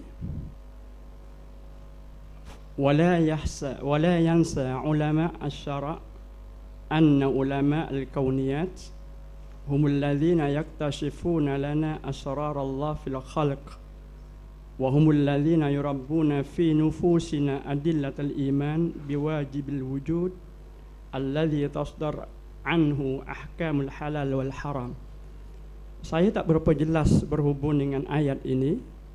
Apa yang saya boleh faham? Seolah-olah ulama syarak itu ketinggalan berbandingkan dengan ulama al-kauniyat sedangkan kita dapati ulama-ulama syarak di waktu dahulu mereka lah yang membongkarkan rahsia-rahsia al-kauniyat yang memberi ilmu pengetahuan kepada generasi-generasi yang datang sehingga lahirlah ahli-ahli sains dan sebagainya. Pohon pandangan Prof. Sekian. Wassalamualaikum warahmatullahi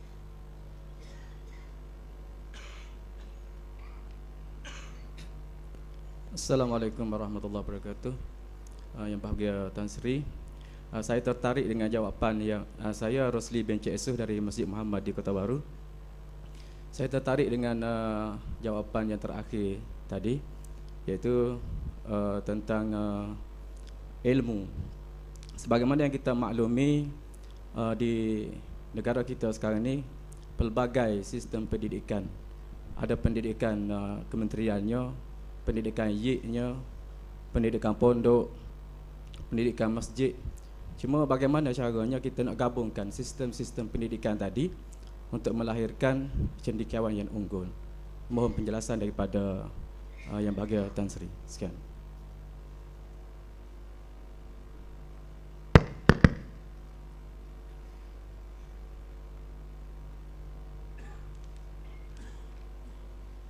Uh, kita beri jawapan dulu lah.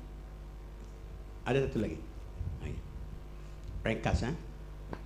Assalamualaikum warahmatullahi taala wabarakatuh.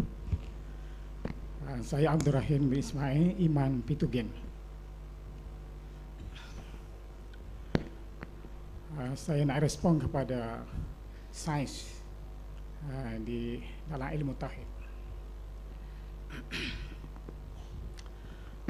Uh, mengikut saya belajar dulu, ilmu tauhid itu sudah ada ilmu sains. Sebab dalam ilmu tu, ilmu tauhid itu dia ada ada dua kategori. Pertama nazari, kedua dururi. Maka di situ uh, sains sudah ada di dalam kategori nazari. Sebab kita nak kenal Tuhan ni kena kaji dulu.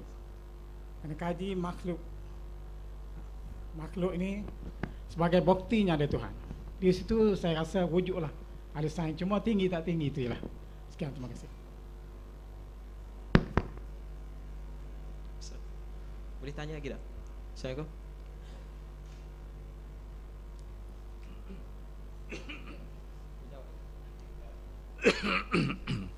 yang dua. Dijawab yang dua dulu. Um, ah, ada tiga, uh, doktor. Ada tiga um, soalan tadi. Yang pertama tentang um, ayat-ayat mutasyabihat. Um, ya kita berpandu kepada ulama-ulama zaman dahulu. Kalau kita berpegang kepada um, apa itu uh, pendirian Ahlus Sunnah wal Jamaah dan Asy'ariyah dalam hal ini kita berpegang kepada uh, bila kaifa. Artinya tidak cuba mentakwilkan hal-hal yang mutasyabihat terima sebagaimana adanya. Ya bila kaifa. Jangan di, diterangkan bagaimana. Uh, kalau dalam hadis uh, qudsi dikatakan pada uh, tiga perempat malam itu Allah turun di langit yang uh, yang pertama itu turunnya bagaimana? Itu kalau pendekatan uh, apa itu yang uh, kita anggap yang boleh kita pegang ialah tidak tidak kita takwilkan bagaimananya. Sebab tidak sama bagaimananya Allah uh, bertindak dengan bagaimananya manusia bertindak. Itu pendirian yang umum yang dipakai oleh ulama-ulama tradisional.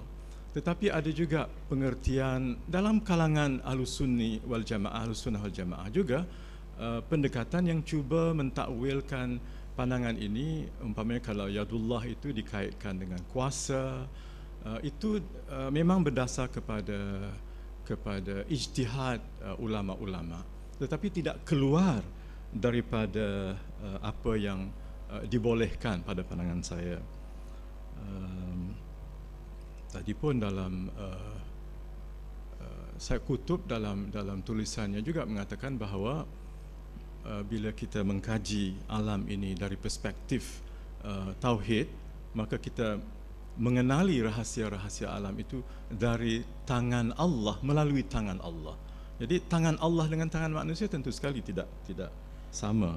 Jadi jawapan saya ialah uh, lebih baik kalau hal-hal yang mutasyabihat itu terima sebagaimana adanya dan tidak perlu ditakwilkan. Sebab kita tahu bagaimana hebatnya pemikiran manusia seperti Ar-Razi cuba mentafsirkan hal-hal yang sedemikian. Imam Al-Ghazali juga dalam dalam tulisan-tulisan banyak merung, merungkaikan apa yang disebut hikmah-hikmah di sebalik uh, apa itu uh, hukum-hukum syarak dan juga ibadat cuba dikaitkan dengan hikmah-hikmah itu uh, dalam batas-batas yang dibenarkan boleh. Tetapi kita tahu bahawa akal manusia ini amat terbatas. Jadi sikap yang lebih selamat ialah bila kaifa terima sebagaimana adanya. Um, kemudian timbul soalan yang saya fikir juga sangat uh, penting kita mempunyai pelbagai sistem pendidikan. Ada sistem uh, negara, ada sistem uh, negeri, ada sistem swasta, ada sistem kerajaan, ada sistem pondok uh, dan sebagainya. Uh, dan soalannya bagaimana nak gabungkan disatukan? Uh, nak satukan saya fikir uh, tidak mudah kerana masing-masing ada sejarahnya masing-masing ada ada um, ada apa itu uh, konteksnya dan ada keperluannya. Kalau untuk mempelajari uh, kitab-kitab tradisional lama saya fikir pondok itu masih lagi diperlukan. Uh, jadi masing-masing ada tempatnya. Yang saya ingin uh, apa itu uh, cadangkan ialah uh, ditambahkan aspek-aspek uh, kauniyah ini dalam pembelajaran agama. Sama ada di pondok kah? Di sistem pendidikan YIK kah? Ataupun kerajaan kah? Ataupun di mana sahaja um, Al-Quran itu dipelajari uh, bukan hanya uh, ayat uh, Quraniyah tetapi ayat kauniyah juga dimasukkan. Supaya kita uh, menggabungkan apa yang disebut oleh seorang alim masa ini uh, Syekh uh, Taha Jabir Al-Alwani al-jam'u bainal qira'atain iaitu kita gabungkan antara dua bacaan selama ini kita sama ada kita baca alam dari perspektif sekular atau kita baca Quran dari perspektif uh, iman dan takwa. Dia nak kita Quran yang mesti kita baca tetapi alam dibaca dari perspektif Quran, Quran difahami sepenuhnya juga dengan mendapat maklumat daripada ilmu alam. So, tak mungkin kita dapat faham Al-Quran sepenuhnya tanpa memahami uh, ilmu alam. Sebab Al-Quran berbicara tentang alam begitu banyak sekali. Tentang umpamanya kejadian uh, kita bayi dalam rahim ibu. Kalau kita tak belajar daripada ilmu uh, daripada uh, obstetrician, uh, kalau kita nak dapat faham lebih baik lagi, kita kena tanya seorang doktor dalam bidang ini. Barulah kita dapat betul-betul uh, memahami hebatnya kuasa Allah dan ilmu Allah. Uh, jadi saya mencadangkan supaya kita uh, pergiatkan uh, mempelajari ayat Allah dalam kaun ini dengan mendapat maklumat daripada ahli-ahli sains yang beriman dan bertakwa bukan ahli-ahli sains yang faham sekular. Kemudian pandangan uh, Pak Imam kita saya juga terima kasih pada Pak Imam yang mengatakan bahawa Pak Imam Abdul Rahim tadi uh, bahawa ilmu tauhid pun sudah ada ilmu sains. Saya tidak nafikan adanya uh, rujukan uh, kepada sains ataupun kepada alam. Uh, sebab dikatakan um, ilmu nazari dan ilmu na- daruri daruri itu digabungkan. Cuma kita lihat dalam dalam kitab-kitab uh, tauhid yang membicarakan soal alam ini baik uh, buminya ataupun langitnya ataupun planetnya itu mungkin tak ada dalam dalam tak tak begitu banyak lah. Mungkin dalam ilmu falak ada banyak sekali tentang alam ini dalam astronominya. Ha. Jadi ilmu falak pun kita tak bawa dalam mengaji ilmu tauhid. Tapi kalau kita bawa uh, maklumat dalam ilmu falak itu pada kajian ilmu tauhid barangkali itu lebih lebih menguatkan lagi pelajaran uh, ilmu tauhid. Jadi uh, apa yang saya cadangkan di sini bukan sekadar saya tidak nafikan bahawa adanya rujukan kepada pentingnya ilmu uh, alam itu tetapi kita nak memperbanyakkan orang-orang yang mengkaji alam ini supaya mengkaji alam dari perspektif tauhid supaya apa yang dicapai oleh ulama-ulama besar zaman dahulu ratusan ulama zaman dahulu yang hebat dari segi ilmu syaraknya, ilmu kauniyatnya, ya gabung bersatu, ilmu Sina dan sebagainya, banyak nama-nama itu, kita nak tengok ulama-ulama itu muncul semula. Ha, terima kasih.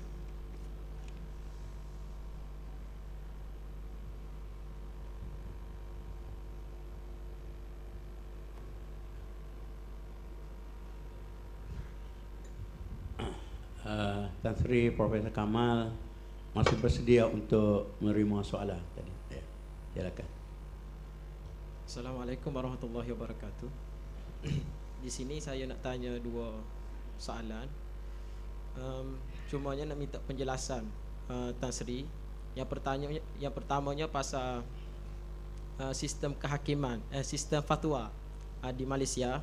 Tadi uh, masa ketah kerja pertama um, ada menyebut cabaran masa kini yang kita hadapi adalah uh, ada orang-orang ni uh, kecek Kelantan lah. Ada orang-orang ni dia mempertikai um, apa panggil keputusan majlis fatwa ni. Jadi uh, kalau kita, uh, saya tengok ada ada dua tiga jenis orang ni dia dia pertikai straight. Maknanya kita nampak uh, dia dia apa panggil uh, dia tak setuju dengan fat, uh, satu-satu fatwa tu. Tapi ada setengah pihak fatwa tu bi uh, contoh tak. Contoh uh, saya tengok pasal hukum rokok. Ha, hukum rokok ni fatwa Malaysia tu bi uh, fatwa bahasanya benda ni haram. Jadi haram ni haram lagu mana? Adakah haram um, tak boleh isap rokok saja ataupun tak boleh jual sekali, tak boleh mendapati sekali, tak boleh nak seluduk sekali ataupun lesen nak wi ke uh, rokok uh, dijual tu haram juga ke tak? Ha, tu nak minta penjelasan daripada Tan Sri. Yang keduanya um, pasal dalam pembentukan akliyah um, ulul albab ni saya terdetik lah hak paling bet, hak paling penting dalam uh, dalam kita ni dalam anak-anak muda hak memberi peranan pembentukan akliyah dia ni adalah saya nampaknya um, sumber maklumat kalau kita lihatlah ni banyak sok khabar sok khabar. Ha, tak saya sebutlah sok khabar apa tu. Ha, tapi ada dua tiga pak sok khabar yang laris di pasar rela ni dan saya sendiri duduk di Mahat Hafiz adalah dua tiga sok khabar ni kalau kita tengok dalam benda hak dia tulis tu memang tidak mencerminkan untuk membentuk apa panggil ulul albab lah. Ada gambar-gambar kok sikit. Ha, jadi apa peranan kita dan apa cadangan daripada Tan Sri untuk kita ubah benda ni. Jadi setakat saja. Assalamualaikum warahmatullahi wabarakatuh.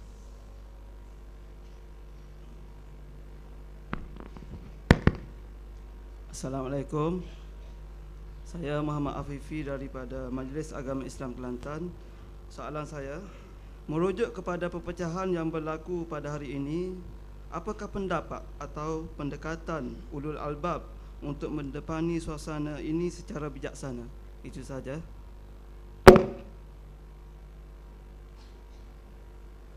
Ya, satu soalan lagi. Terima kasih. Uh, Assalamualaikum warahmatullahi wabarakatuh. Yang berbahagia dan amat saya hormati uh, Tan Sri. Uh, seterusnya sidang hari ini sekalian. Uh, saya Ibrahim bin Hussein. Uh, saya nak merujuk kepada uh, kata kerja muka surat 36 uh, kaitan dengan cabaran uh, masa depan umat Islam secara global. Di sini uh, Tan Sri telah uh, menjelaskan beberapa perkara yang pada saya amat menarik perhatian saya uh, umat Islam perlu kepada uh, memiliki beberapa kriteria tertentu untuk menghadapi uh, cabaran masa depan dan masa kini. Soalan saya ialah apakah uh, sistem yang sedang berjalan pada hari ini uh, mampu Uh, melahirkan uh, beberapa ciri yang telah digagaskan oleh Tan Sri yang perlu dimiliki oleh oleh kita umat Melayu Islam untuk pada, pada masa kini dan pada masa depan. Dan apakah perubahan yang perlu kita lakukan untuk uh, memenuhi uh, tuntutan uh, cabaran zaman dan akan datang. Sekian terima kasih. Mohon penjelasan Tan Sri. Terima kasih.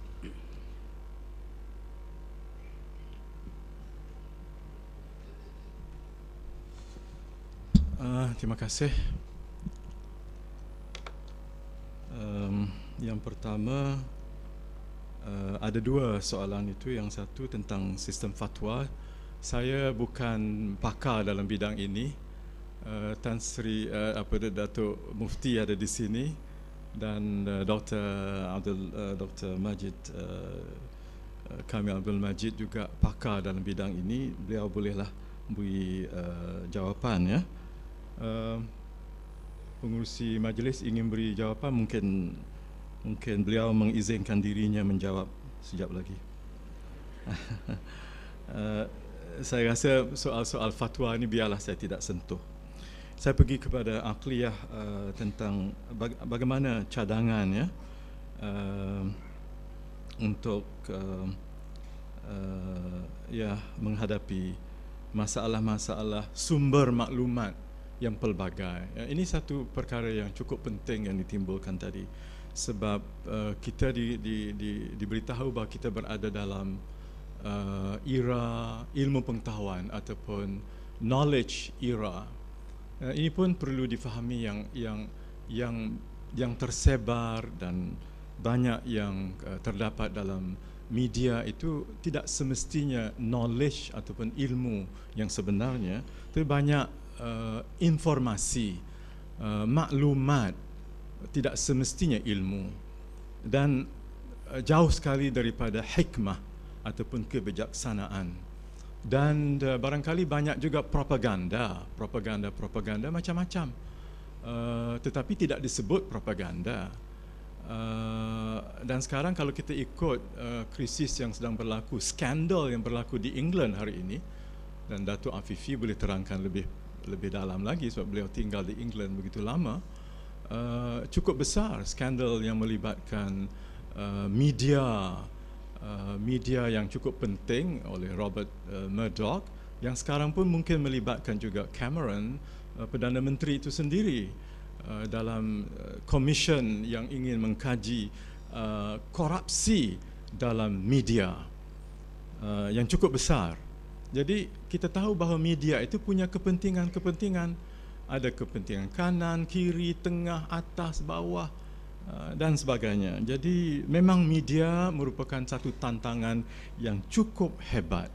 Kita perlu mendidik anak-anak kita supaya pertama dapat uh, membezakan antara maklumat dengan ilmu.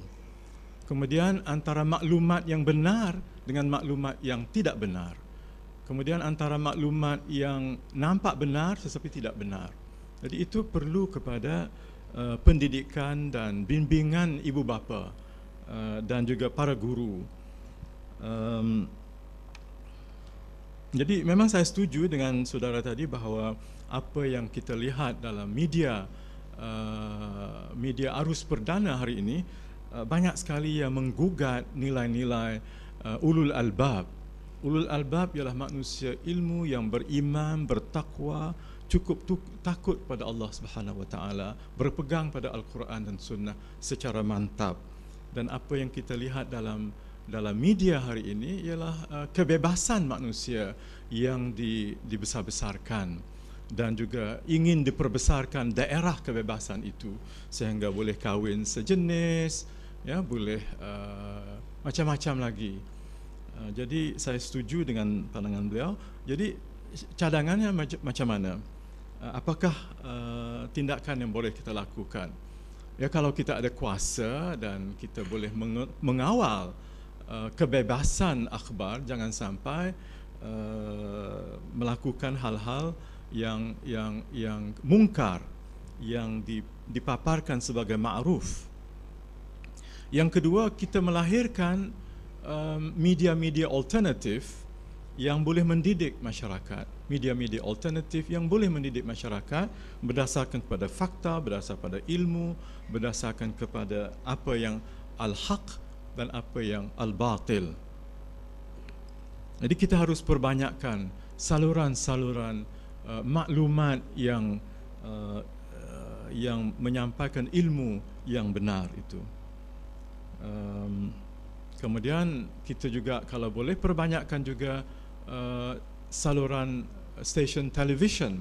Kalau di Indonesia ada beberapa stesen television, di di um, di Turki ada beberapa stesen television yang memaparkan uh, nilai-nilai Islam dalam dunia dan masyarakat sekular. Indonesia pun begitu juga masyarakat Pancasila yang begitu bebas ada uh, stesen-stesen TV. Jadi kita perlu kepakaran dalam bidang-bidang IT, pakaran dalam bidang-bidang Uh, multimedia, kepakaran dalam bidang penulisan drama uh, dan sebagainya. Uh, jadi uh, itulah antara cara-cara yang elok dilakukan. Kemudian um, tentang perpecahan, um, kita memang uh, ialah di uh, dihinggapi oleh penyakit perpecahan dan bagaimanakah kita mengatasi ini? Saya fikir um, kalau kita berpegang kepada Al-Quran dan Sunnah sudah jelas. Ha? Kalau kita bertikai tentang sesuatu perkara, Ha, wa in tanaza'tum fi syai'in farudduhu ila Allah wa Rasul. Jadi kalau kita pertikai tentang sesuatu masalah, kita harus kembali kepada Al-Quran dan Sunnah dan para ulama yang muktabar. Uh, itulah pendekatan yang diberikan oleh Al-Quran. Dan cuma cara kita mengajak orang berbincang biarlah dengan penuh hikmah, dengan rahmah, dengan uh, perasaan uh, apa itu um, uh, kasihan belas kepada orang yang tidak mengetahui ataupun orang yang jahil. Jadi cara kita memanggil orang kepada kesatuan itu biarlah dengan cara yang penuh um, berhikmah.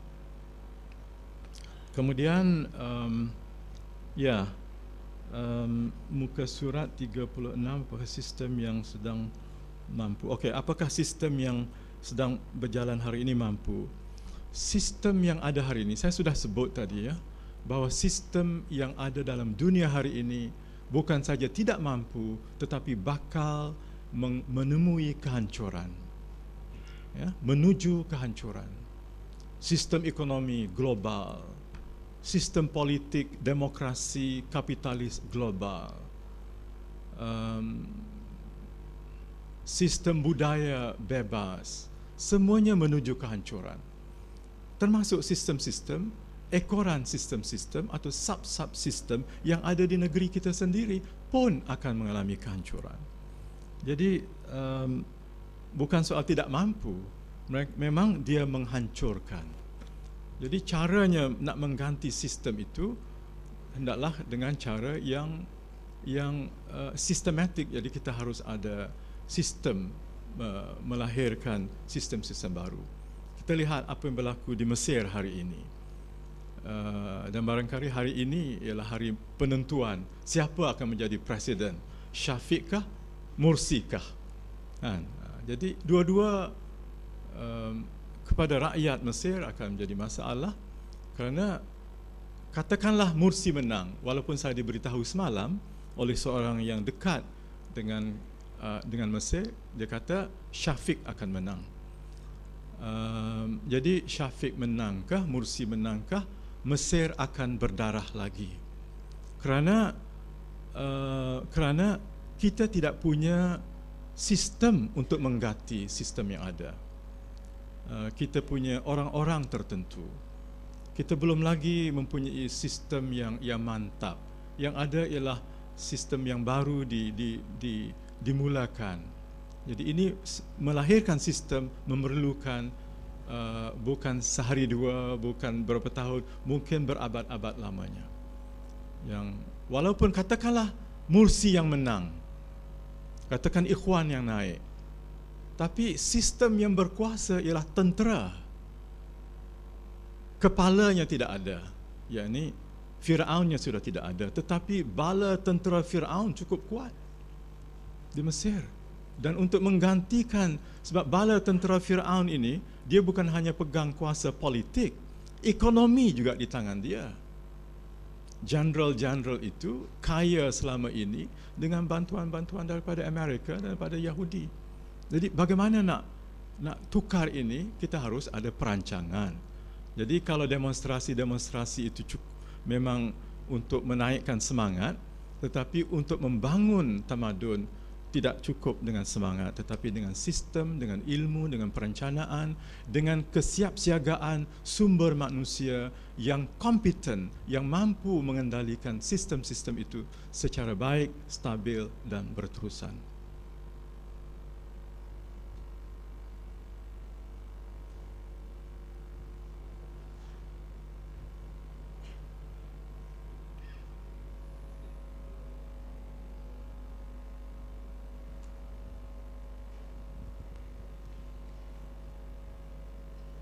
Ada lagi soalan-soalan uh, untuk mengambil peluang yang ada Tan Sri Profesor masih bersedia eh? silakan kalau ada apa-apa soalan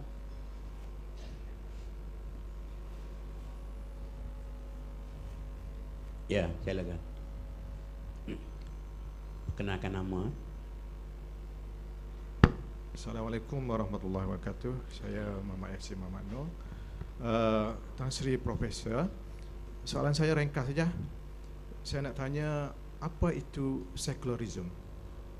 Buku Syed Najib itu dah ada tapi itu dah lama. Yang kedua, di mana letaknya Malaysia? Negara sekular atau apa benihnya? Terima kasih. Ya nampak satu sini yang ni. Ya. Assalamualaikum warahmatullahi wabarakatuh. Silakan. Tuan Sri Profesor dan uh, ahli-ahli sekalian. Saya ada satu soalan. Jadi uh, soalan saya kita melihat uh, antara, antara cabaran kita dalam uh, melahirkan ulul, ulul albab gejala-gejala sosial yang banyak. Tapi kita melihat dari aspek pencegahan kurang berkesan. Kerana kes-kes uh, melihat uh, kes-kesnya melihat peningkatan.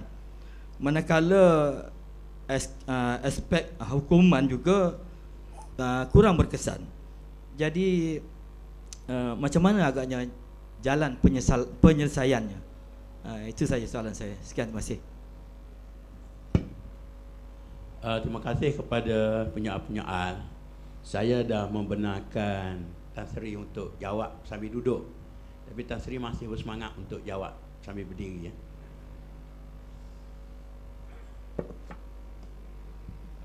Tak, sebenarnya bukan soal semangat. Tapi saya cakap pada Datuk Doktor tadi, saya kata bercad Osin.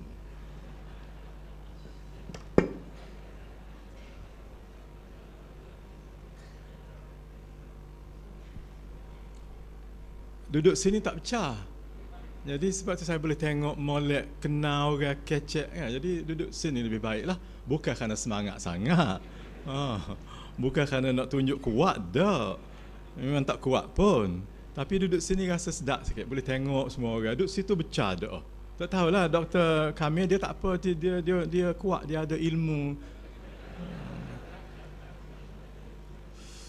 Baiklah, soalan tadi yang saya rujuk pada soalan tentang sekularisme ya. Apakah itu sekularisme dan apakah Malaysia ini di mana duduknya Malaysia?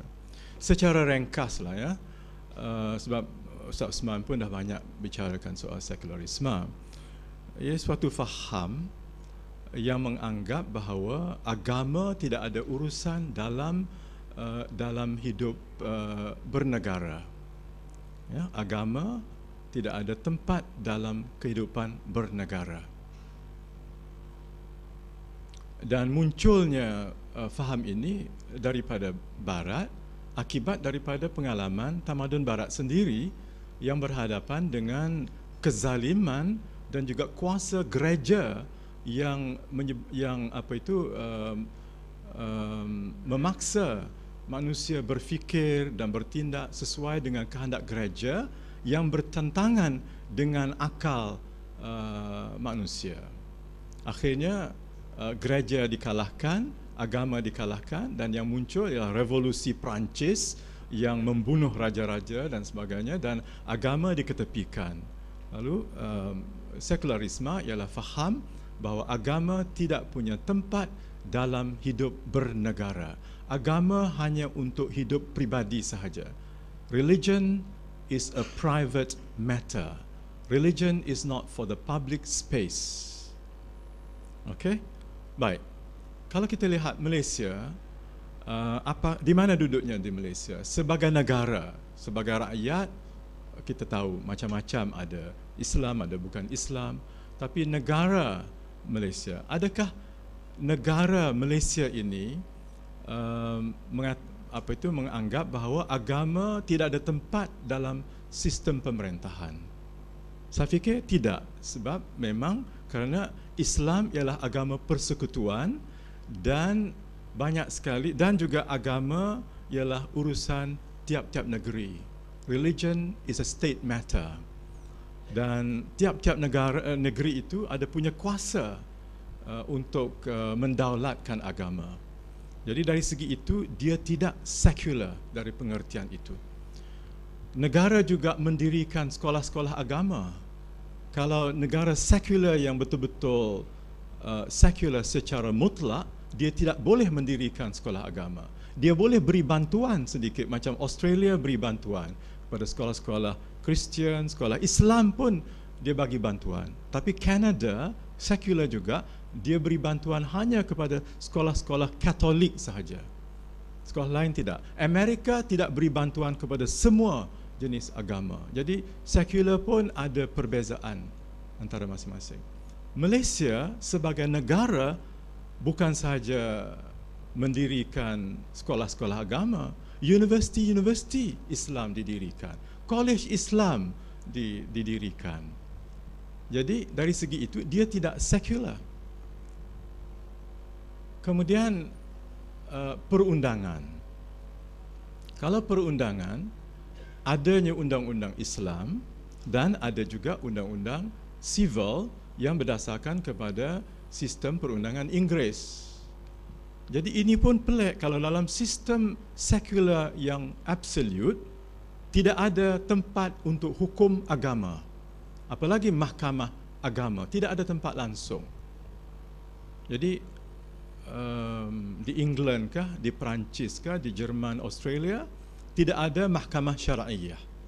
Yang ada ialah masyarakat Islam itu masing-masing buat sendirilah kaunsil syariahnya dan sebagainya. Ha. Jadi um, tapi adanya sistem perundangan Islam itu berarti sistem perundangan Islam ada tempat dalam sistem negara cuma tempatnya sempit tidak besar dia hanya membicarakan soal ahwal syakhsiyah nikah kahwin dan dan uh, harta pesaka. Dalam lain-lain tidak. Jadi dia tidak memberi tempat yang seluas-luasnya kepada hukum syarak. Itu tidak berarti dia tidak sekular, cuma dia tidak islamik sepenuhnya. Jadi sistem negara kita bagi pandangan saya tidak boleh dikatakan negara Islam sepenuhnya dia ada ciri-ciri negara Islam. Tetapi dia juga ada um, memberikan tempat pada sistem perundangan sekular dalam bidang uh, jenayah uh, dan lain-lain. Jadi kita ini ialah um, gabungan ya antara uh, apa itu uh, beberapa sistem-sistem sekular sama ada dalam pendidikan, dalam perundangan, Uh, dalam ekonomi uh, kita masih ada lagi sistem-sistem bank uh, gunakan uh, riba. Kita ada juga sistem-sistem bank la ribawi. Jadi itu memberikan keistimewaan kepada Malaysia. Tak boleh kita katakan dia negara sekular.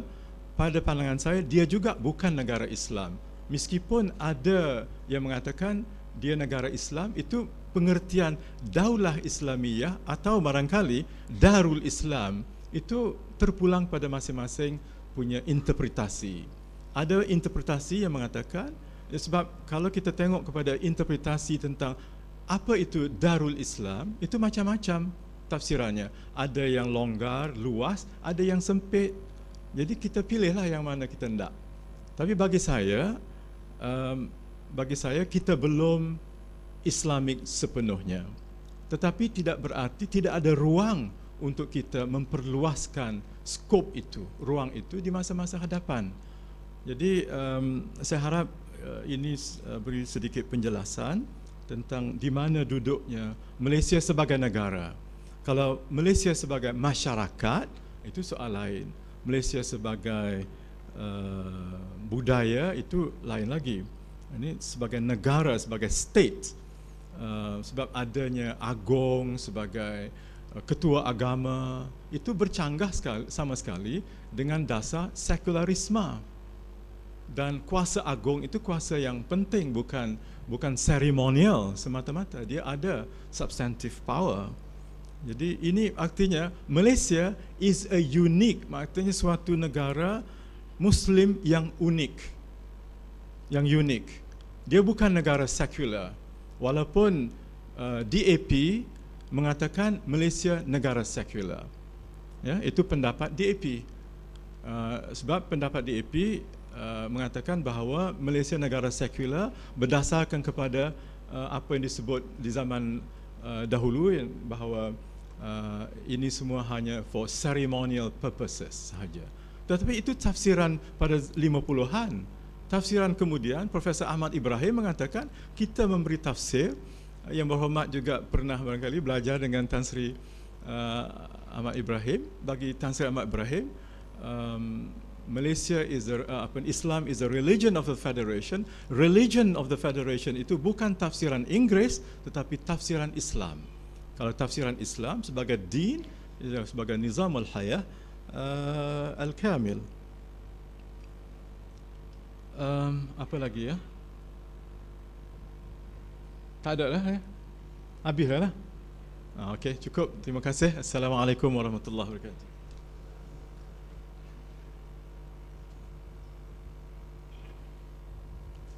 Alhamdulillah kita rasa cukup berpuas hati dengan tajuk yang dibentangkan dan soal jawab yang saya rasa memenuhi kehendak semua pihak dan kita telah mendapat ilmu yang banyak pada pagi ini.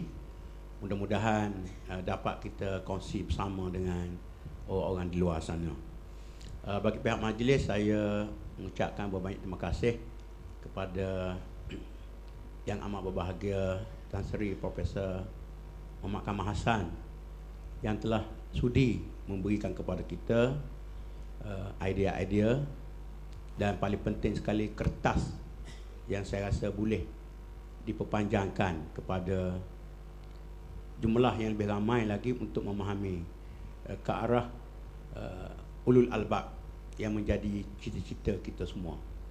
Mudah-mudahan dengan syarahan ini dan soal jawab yang telah berlangsung dengan baik dan tenang walaupun dalam nada yang lembut cukup bersederhana tapi dalam masa yang sama rasa Tan Sri telah memberi jawapan-jawapan yang cukup tegas dan jitu untuk menjadi pegangan kita. Sekali lagi saya mengucapkan terima kasih dan saya serahkan majlis kepada juruacara. Sekian wabillahi taufiq wal hidayah. Wassalamualaikum warahmatullahi wabarakatuh.